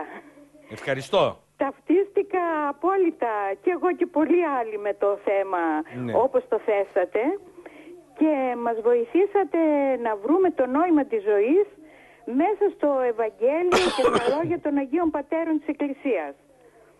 Λίγο, ε, ε, λίγο σας παρακαλώ, μην κλείνετε την γραμμή. Την τηλεόραση χαμηλώστε λίγο. Ναι, ναι. Κάνει αυτό το, για να μην το λέω σε όλους τους τηλεθεατές, σας παρακαλώ, όταν παίρνετε τηλέφωνο και βγαίνετε στη Ναι, γραμμή, ναι. λίγο χαμηλώνετε την τηλεόραση. Γιατί Ναι, κάνει ναι. αυτό το πράγμα εδώ μέσα και δεν προ... Πείτε όμως το, αν τη χαμηλώσατε, πείτε. Ναι, ναι. Σήμερα λέω πήρατε άριστα γιατί από όλες τις εκπομπές Ναι, ήταν... κατα... μέχρι εκεί ακούστηκε. Πείτε λίγο το παρακάτω. κα- το Ευχαριστώ για το κάποια- άριστα. ναι. Ευχαριστώ, Μας αλλά ας βοηθεί- πούμε λίγο παρακάτω. Ναι, μας βοηθήσατε να βρούμε το Ναι. νόημα της ζωής μέσα στο Ευαγγέλιο ναι, ναι. και τα λόγια των Αγίων Πατέρων της Εκκλησίας. Αυτό είναι πάρα πολύ σημαντικό για πολύ κόσμο γιατί ζούμε ήδη και την ε, περίοδο των Χριστουγέννων και Ναι. είδαμε πώς γεννήθηκε ο Χριστός μέσα στη Φάτνη. Δηλαδή ας είμαστε λίγο πιο ταπεινοί. Και εγώ εργαζόμουν πολλά χρόνια αλλά λόγω της οικογένειας να χαρώ λίγο τα παιδιά, τα εγγόνια Ναι. Παραιτήθηκα και από τη δουλειά και από όλα. Ναι. Εντάξει, μία μικρή συνταξούλα νομίζω ότι φτάνει. Κοιτάξτε, Αν γεν- βρούμε αυτό το νόημα που είπατε είναι καταπληκτικό. Τότε, αφού Όλοι- σας ενδιαφέρει. Καταρχάς, ευχαριστώ για την παρέμβαση, ευχαριστώ και για Ναι. τα καλά σας λόγια. Αλλά αφού σας ενδιαφέρει, να πούμε από τώρα ότι εκτός ανθρωπίνου βέβαια πάντοτε προόπτου, την επομένη εβδομάδα να μιλήσουμε για αυτό ακριβώς που λέτε τώρα. Δηλαδή, ε, ε, τι λένε για αυτή την απληστία, διότι από την απληστία ξεκινάει αυτό το κακό. Η λατρεία αυτή του μαμονά ξεκινάει από την απληστία. Είδατε πόσο σωστά είπατε, η κυρία αυτή η τελευταία που τηλεφώνησε, πόσο σωστά είπε, παίρνω τη σύνταξή μου. Ε, μάλλον, όχι μόνο τη σύνταξή τους. Εκατομμύρια εκατομμυρίων παίρνουν και δεν τους φτάνουν. Και κυρίως παρανόμως κιόλας. Και παρανόμως κιόλας. Ε, λέω λοιπόν, αφού σας ενδιαφέρει ακόμα πιο έτσι, βαθιά να μιλήσουμε, την άλλη εβδομάδα να προχωρήσουμε λίγο προς τα εκεί. Τι είναι αυτή η απληστία τέλος πάντων, τι είναι αυτή η απληστία που οδηγεί ανθρώπους στην ανηθικότητα, στην κλεψιά, στη διακινδύνευση της ίδιας τους της προσωπικής ελευθερίας για ποσά χρηματικά, γι' αυτό μιλώ για απληστία, που δεν είναι για την άμεση ανάλωση. Δεν είναι για τα παιδιά τους, δεν είναι για τα εγγόνια τους. Είναι για 200 γενιές πίσω. Ποιος είναι αυτός ο μηχανισμός; Ποιος είναι αυτός ο μηχανισμός; Και τι λέει απάνω σε αυτό η φιλοσοφία, τι λέει απάνω σε αυτό η Εκκλησία, τι λένε απάνω σε αυτό οι πατέρες της Εκκλησίας; Αφού λοιπόν σας ενδιαφέρει, και, και, και αντικειμενικά είναι εξαιρετικά ενδιαφέρον θέμα που ενδεχομένως κάπως μπορεί να μας ξαναφέρει στα ίσα μας. Να το κάνουμε την άλλη Δευτέρα, να το συζητήσουμε. Λοιπόν, συγγνώμη, λίγο περιμένατε κιόλας. Παρακαλώ.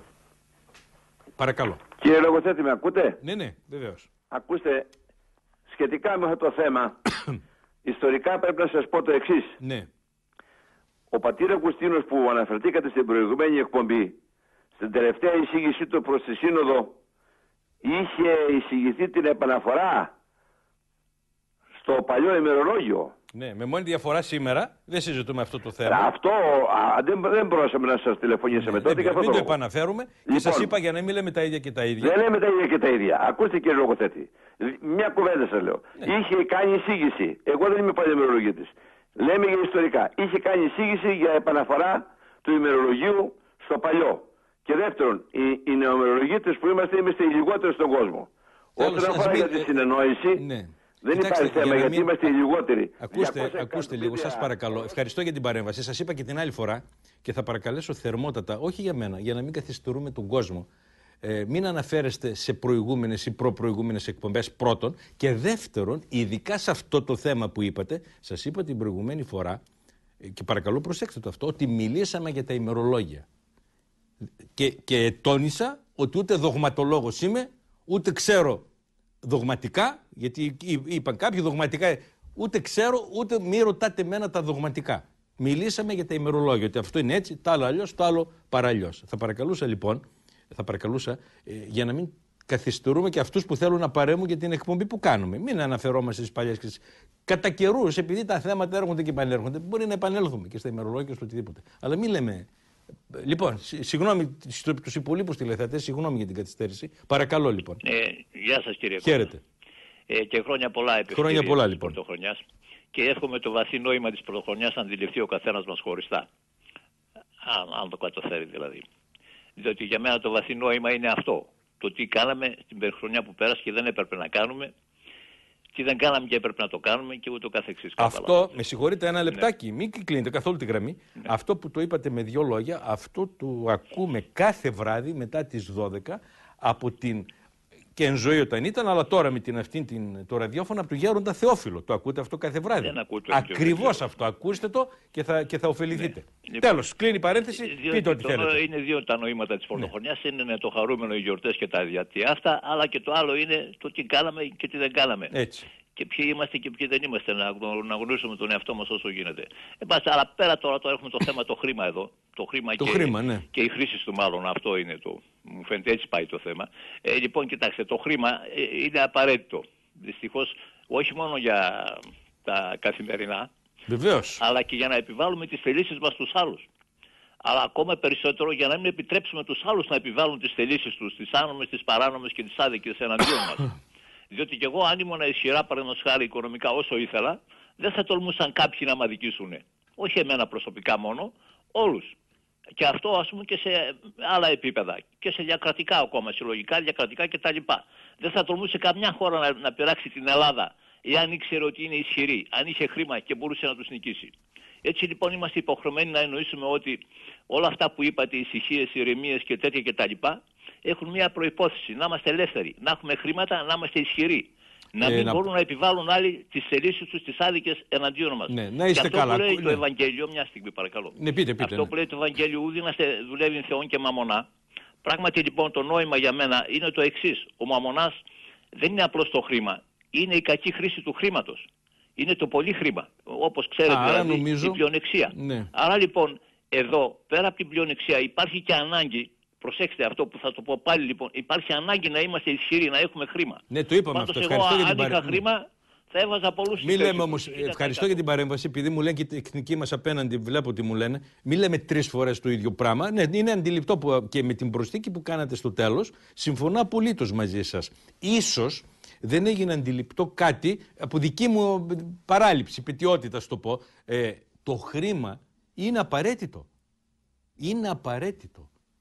Όμως, όμως, αυτοί για τους οποίους μιλήσαμε, αυτούς τους οποίους διώκει ή διερευνάει η δικαιοσύνη, δεν πήραν το απαραίτητο χρήμα. Δεν πήραν το απαραίτητο χρήμα. Συμφωνώ λοιπόν με την άποψή σας και ευχαριστώ που μου δώσατε την ευκαιρία να κάνω αυτή τη διευκρίνηση.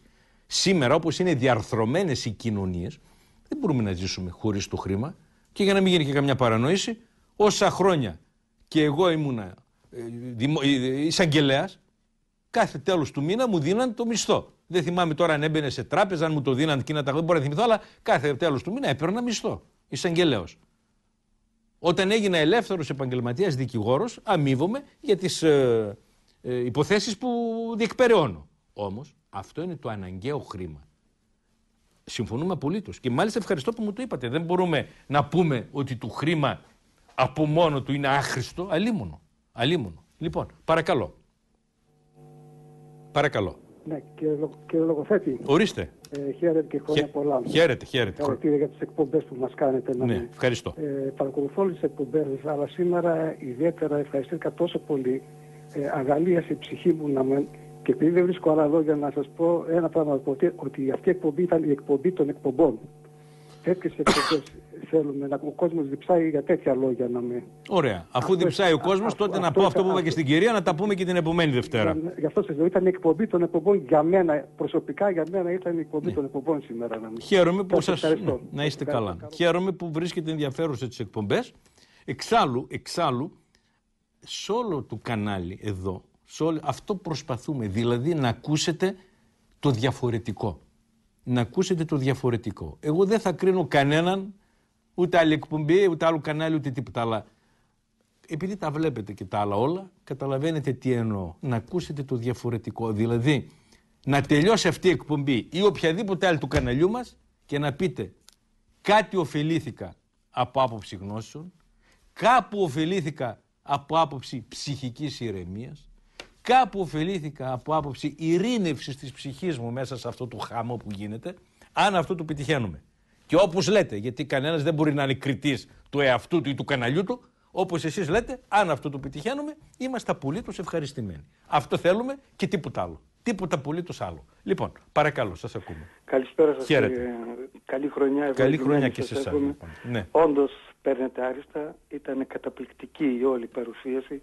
Χτυπήσατε κέρια σημεία. Ναι, να είστε αυτή καλά. την, ε, ε, πώς να την πούμε, την ε, απόκτηση αυτού του, του, του χρήματος, το οποίο πραγματικά ε, φέρνει τη ζωή τα πάνω κάτω που λέμε και απ' την άλλη αναδείξατε πόσο ωραία είναι η ήρεμη ζωή, αυτές οι μικρές όπως πολύ σωστά είπατε απολαύσεις.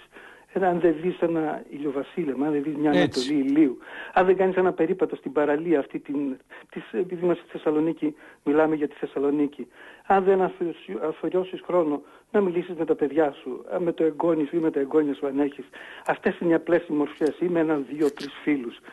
Ε, νομίζω ότι αυτά στερηθήκαμε σήμερα και μέσα σε αυτό το κικαιώνα της τρέλας που υπάρχει η εκπομπή σας πραγματικά ήταν καταπληκτική. Εύχομαι και η επόμενη να είναι έτσι ωραία. Θα συνεχίσουμε Να μας- το ίδιο θέμα. Να μας ηρεμήσετε. Ήταν συγχαρητήρια και πάλι σας. Ευχαριστώ για τα καλά σας λόγια. Μόνο, μόνο μη λέτε τόσα καλά λόγια. Γιατί; Γιατί αυτά τα καλά λόγια έρχονται σε αντίθεση με κάτι άλλο επίσης των γραφών. Θα έχετε ακούσει την, την φράση «φεύγε δόξαν ανθρώπων». Αυτό θα πει ε, μην, ε, ε, για τον έπαινο, ας πούμε, ε, να αποφεύγεις τους επένους των ανθρώπων. Απ' την άλλη, βέβαια, δεν μπορώ να κάνουμε και λογοκρισία τι λέτε, αλλά, εν πάση περιπτώσει, αφού βλέπετε αυτή την εκπομπή, εννοείται ότι σας αρέσει. Πάνω δε στις μικρές... Χα... Α, θα σας έλεγα κάτι νομίζω έτσι, χαρακτηριστικό για τις μικρές χαρές της ζωής, αλλά μου λένε οι τεχνικοί μας άλλα πράγματα από απέναντι. Λοιπόν, παρακαλώ, παρακαλώ. Σας Ε, ακούω. κύριε Λογοθέτη, καλησπέρα Χαίρετε, σας. χαίρετε. Καλή χρονιά να Καλή έχουμε χρονιά. όλοι. Καλή χρονιά. Σας ε, παρακολουθώ από τη Νέα Πέραμο Καβάλας και πραγματικά έτσι με ταξιδέψατε μετά με το λόγο σας και μου δώσετε αυτή την ηρεμία Ναι. που μας λείπει σήμερα στις μέρες μας και το έχουμε ανάγκη. Να είστε καλά. Ε, βέβαια, όσον αφορά και το θέμα του χρήματος, είναι μια... Ε, το, η σχέση μας με το χρήμα θα πρέπει να είναι ευεργετική και όχι καταστροφική. Και χωρίς αυτό τα πράγματα είναι δύσκολα. Και Ήδη το βιώνουμε σήμερα είτε σαν άνεργοι, γιατί είμαι άνεργος αυτή τη στιγμή, εργάζεται μόνο η σύζυγος. Και πραγματικά και χωρίς αυτό είναι δύσκολα τα πράγματα. Κάπου πρέπει να βρούμε το μέτρο. Είναι καλό να έχει ο άνθρωπος και χρήματα και να μην στερείται τα που στερείται σήμερα ο καθένας μας ξεχωριστά μέσα από τη δική του ζωή. Σας ευχαριστώ πάρα πολύ και πραγματικά ο λόγος σας και η εκπομπή σας σήμερα ήταν κάτι που με ξεκούρασε. Να είστε καλά. Να είστε καλά. Ευχαριστώ για τα καλά σας λόγια και σας θυμίζω πάνω σε αυτό που είπατε την αρχαία φράση, ρίση μάλλον, μέτρων άριστον. Το μέτρο λοιπόν είναι παντού άριστον και εδώ να κάνουμε και μια έτσι διορθωσούλα πάρα πολλοί λένε παν μέτρον άριστον. Αυτό είναι πολύ το εσφαλμένο. Παν μέτρον άριστον θα πει κάθε μέτρο είναι άριστο. Δηλαδή και ένας που πίνει ένα ποτηράκι κρασί άριστα κάνει. Και ένας που πίνει δυο μπουκάλια κρασί άριστα κάνει. Αφού παν μέτρον άριστον. Αυτό είναι λάθος. Μέτρον άριστον. Και επειδή είναι ορισμένα λάθη που επειδή τα κάνουμε πολύ συχνά, παγιώνονται στη γλώσσα και πρέπει ε, να κάνουμε πότε πότε και αυτές τις διευκρινήσεις. Μέτρον άριστον λοιπόν είναι αυτό που εγώ θέλω να προσθέσω σε όσα είπατε. Όχι, εσείς δεν είπατε καν την έκφραση. Δεν εννοώ ότι εσείς είπατε κανένα, αφού δεν είπατε καν την έκφραση. Εγώ τι λέω; Με αυτή την επισήμανση. Λοιπόν, παρακαλώ. Παρακαλώ. Ναι, καλησπέρα σας. Χαίρετε. Από Λάρισα σας τηλεφωνώ. Να είστε καλά. Σας ευχαριστώ και σας συγχαίρω. Προσφέρετε μεγάλη υπηρεσία. Ναι, ευχαριστώ. Ε, τη στιγμή που όλα τα κανάλια, ή σχεδόν όλα, για να μην, πω, να μην τους περιλάβω όλους μαζί, ε, δεν μας προσφέρουν ποιοτικές έτσι εκπομπές. Εσείς έχετε ποιοτική εκπομπή. Ε, θα ήθελα απλώς να σας πω ένα ανέκδοτο αφού σας συγχαρώ και για το ότι προβάλλετε τη ζωή του Αγίου Όρους το οποίο δεν αγαπώ και έχω γράψει και βιβλία γι' αυτό. Ναι, ναι. Ε, ήθελα να σας πω το εξής ανέκδοτο. Ε, συνέβη λέει, μια τρικυμία ενώ ταξίδευε ένα βαπόρι και ενώ όλοι έτρεχαν να πάρουν σωσίβια να σωθούν κλπ. Ένας ή το και έλεγε, ακούστηκε να λέει, τι κρίμα, τι κρίμα, δεν έβγαλε, έβγαλε εισιτήριο μετεπιστροφής, Χα, ε, χάνω τα χρήματά μου. Ενώ πληγόντουσαν, αυτός σκεφτόταν ότι χάνει τα χρήματά του. Πολλά, πολλά. Ευχαριστώ για την παρέμβαση. Σας ευχαριστώ πολύ. Συγχαρητήρια και πάλι. Καλώς σας και εγώ ευχαριστώ. Υπάρχουν πολλά σχετικά, πολλά σχετικά για την ματαιότητα αυτού του άγριου κυνηγητού, του άγριου κυνηγητού και όπως σας είπα διαρκούσες της εκπομπής μιλήσαμε σήμερα και για ανθρώπους που ε, εξεμέτρησαν το ζήν εις προβεβικίαν ηλικίαν και σας είπα θα τα δούμε την άλλη φορά λεπτομερέστερα εδώ μπορεί η ίδια η θρησκεία μας το λέει. Ουδή γνωρίζει τι τέξε, τι επιούσα. Κανείς δεν ξέρει πότε έρχεται η ώρα. Μπορεί να ασκεί 20 χρονών και 30 και 40. Μακάρι να μην γίνεται αυτό, αλλά να που γίνεται στη ζωή. Δηλαδή, αυτό το κυνηγητό το φοβερό δεν ξέρει κανείς πότε θα σταματήσει και με ποιον τρόπο. Τέλος, όμως, όμως μια που θα το συνεχίσουμε και την άλλη φορά, να μην κρατάω εγώ τον λόγο ενώ έχουμε βγάλει τα τηλέφωνα. Λοιπόν, παρακαλώ, σας ακούμε. Γεια σας. Χαίρετε. Απόψε με αγγίξατε και εμένα από πολλές πλευρές διότι αφενός μεν έχω ζήσει στο Άγιον Όρος επί ένα χρόνο από κάποια υπηρεσία που ήμουνα ναι. και έχω γνωρίσει από κοντά όλα αυτά που είπατε και άλλα πάρα πολλά αλλά έχω ασχοληθεί και με το θέμα του χρήματος και του ναι. χρόνου γιατί γράφω κάτι κι εγώ τέλος πάντων τώρα σαν συνταξιούχος και θα μου επιτρέψετε να σας διαβάσω ένα κομματάκι μικρό. Παρακαλώ. Μόνο η παράκληση ας μην είναι πολύ μεγάλο μόνο γιατί περιμένει όχι, όχι, όχι, είναι πάρα Κατά τα άλλα, ευχαρίστως να διαβάσετε. Βεβαίως. Πάρα πολύ λίγο. Βεβαίως. Ναι. Ε, τονίζω παραπάνω ότι. Ε, ένα μικρό απόστολο θα διαβάσω. Παρακαλώ. Ότι ναι. ο, το χρήμα δεν είναι αυτός σκοπός. Ότι είναι μέσον. Κάτι το οποίο το ξέρουμε όλοι, αλλά το ξεχνάμε. Ναι. Και γράφω το εξής ε, στο επίκαιρο σημείο. Τις ανάγκες μας αλόγιστα μόνοι μας δημιουργούμε και γυρεύουμε δικαιολογίες έολες να βρούμε.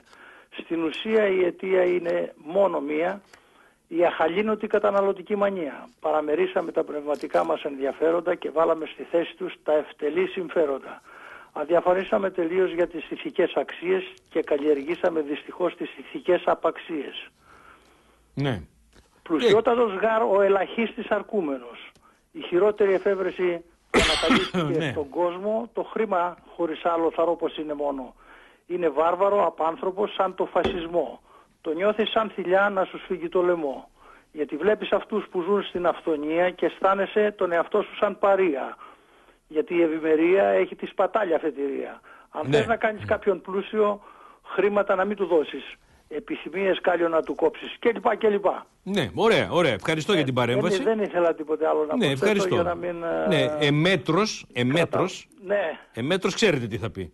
Ε, Σαφώς, επειδή με, γραφοποίηση. Με δύο, με δύο μήνε το εμέτρος αυτό. Εμέτρος λοιπόν. Ακριβώς είπα... επειδή γραφοποίηση. Έτσι, έτσι. Γι' αυτό σας το λέω και εγώ ποιητικά.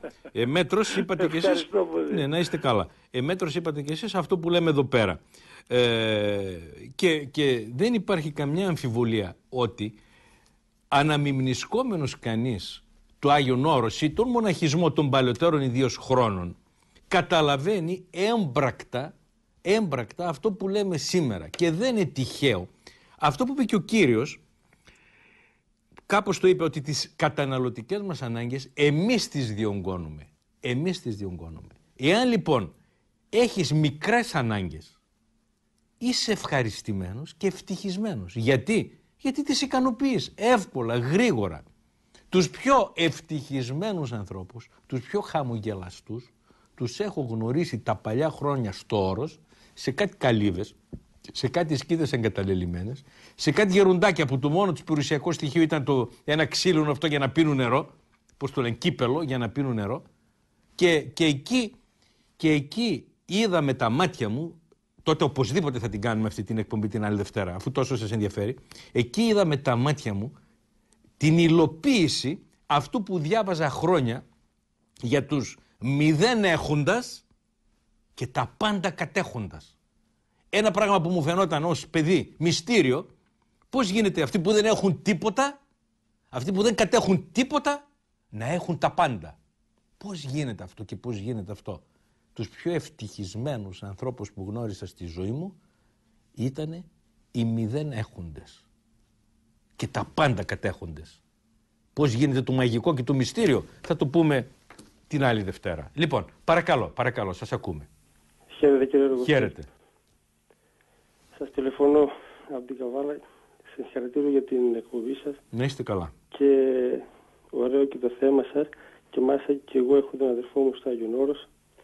Και πολλά θα μπορούσα να πω και εγώ για το Άγιον Όρος. Για το φάρο αυτής της Ορθοδοξίας. Λοιπόν, ήθελα να κάνω μια αναφορά που τόσα είπατε για τον φώτικο, φώτικο Λοιπόν, πάνω στο θέμα ε, της, ε, της ναι. Ορθόδοξου πίστεως της μόνη, που είναι η μόνη αμόλυδος ε, πίστης, η Ορθόδοξη και σχετικά με τον Πάπα και τα λόγια που είπε ο Άγιος Φημάς ο, ο, ο Εισαπόσταλος του Πάπα να καταράστη λέει σήμερα όμως γράφει σχολιάζοντας αυτά σήμερα όμως αντί να τον καταρώμε θα τον αγκαλιάζουμε αυτόν τον Πάπα οι οδηγοί της Εκκλησίας μας αντί να καταρρώνται, λέει τον Πάπα, πηγαίνουν μόνοι τον και τον ασπάζονται και θέλουν να παρασύρουν και τον Ορθόδοξο λαός μας. Να ρωτήσω να όμως, με συγχωρείτε, να ρωτήσω εγώ για να καταλάβω, τι σχέση έχει αυτό με το θέμα που συζητάμε; Και, απλώς έκανα μια αναφορά. Ευχαριστώ για την... Ήθελα, να, ήθελα να, να κάνω μια αναφορά στα, μη, μη κάνετε, ευχαριστώ πολύ, αλλά μην κάνετε, σας είπα, παρεκάλεσα και πριν, επειδή είναι πολύ ο κόσμος στη, στη σειρά που περιμένει, και είδατε καμιά φορά πώς παραπονούνται διάφοροι και σωστά σε μένα παραπονούνται. Προσπαθούσα χτες να πάρω τηλέφωνο και δεν μπόρεσα. Προσπαθούσα να πάρω και δεν μπόρεσα. Παραπονούνται σε μένα. Και εγώ δεν μπορώ να κάνω κάτι περισσότερο, αλλά αυτό που μπορώ να κάνω είναι η παράκληση. Ε, μπορεί αυτά που λέτε να είναι σοβαρά, να είναι για να κάνετε τον κόπο να τηλεφωνείτε κτλ. Αλλά η παράκληση, σας το έχω πει και σήμερα μάλιστα, να είναι στο θέμα που συζητάμε. Τώρα, ποιος καταράτε τον Πάπα; Και ποιος δεν τον καταράτε; Και γιατί τον καταράτε τον Πάπα; Συγγνώμη κιόλας δηλαδή, δεν θέλω να σας προσβάλλω, αλίμονο, ποτέ δεν το έχω κάνει, αλλά δεν είναι θέμα της εκπομπής σήμερα. Ενώ βλέπετε ότι συζητάμε κάτι άλλο και είναι και κόσμος που προσπαθεί να παρέμβει. Τέλος πάντων, εκείνο λοιπόν το οποίο εγώ ήθελα να πω έτσι προχωρώντας προς το τέλος της εκπομπής είναι ότι αυτό είναι ένα τεράστιο θέμα, δηλαδή ο εκτροχιασμός της σκέψης μας, ο, ο εκτροχιασμός της συμπεριφοράς μας και γενικά και γενικά η αλλίωση του νοήματος πολλών λέξεων και ενιών χρησίμων κατά τα άλλα. Προς αποφυγή δεν παρανοήσεων, σας είπα και πριν, το χρήμα όπως διαρθρώθηκαν οι οικονομίες. Δεν ζούμε πια στις ανταλλακτικές οικονομίες. Τις θυμάστε τις ανταλλακτικές; Είχαμε κάνει κάτι εκπομπές για το εμπόριο στην αρχαιότητα τα παμπάλια χρόνια. Πήγαινε σε εμπορεύματα, έπαιρνε εμπορεύματα. Σου φέραν οι άλλοι εμπορεύματα, τους έδινες εσύ. Αυτό δεν υπάρχει πια η ανταλλακτική οικονομία. Το χρήμα λοιπόν είναι αναγκαίο είναι αναγκαίο. Αλλά πολλά αναγκαία πράγματα με την παράχρηση ή την κατάχρηση γίνονται επικίνδυνα. Ένα από αυτά λοιπόν είναι το χρήμα, το οποίο όπως φάνηκε να συμφωνούν και πολλοί τηλεθεατές, είναι και η αιτία πολλών πολλών δεινών που μας μαστίζουν σήμερα. Λοιπόν, εν πάση μας περιπτώσει φτάσαμε 11 η ώρα, επειδή από τον τρόπο που, που παρενέβητε σε αυτή την εκπομπή φάνηκε ότι το θέμα σας ενδιαφέρει, θα συνεχίσουμε και την επομένη Δευτέρα. Επί του παρόντος, θερμά σας ευχαριστώ που παρακολουθήσατε την εκπομπή αυτή.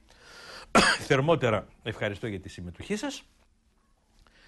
Σταματούμε εδώ, ανανεώνουμε τη συνάντησή μας όπως είπαμε για την επομένη Δευτέρα. Επί του παρόντος, καλό σας βράδυ και καλό σας ξημέρωμα.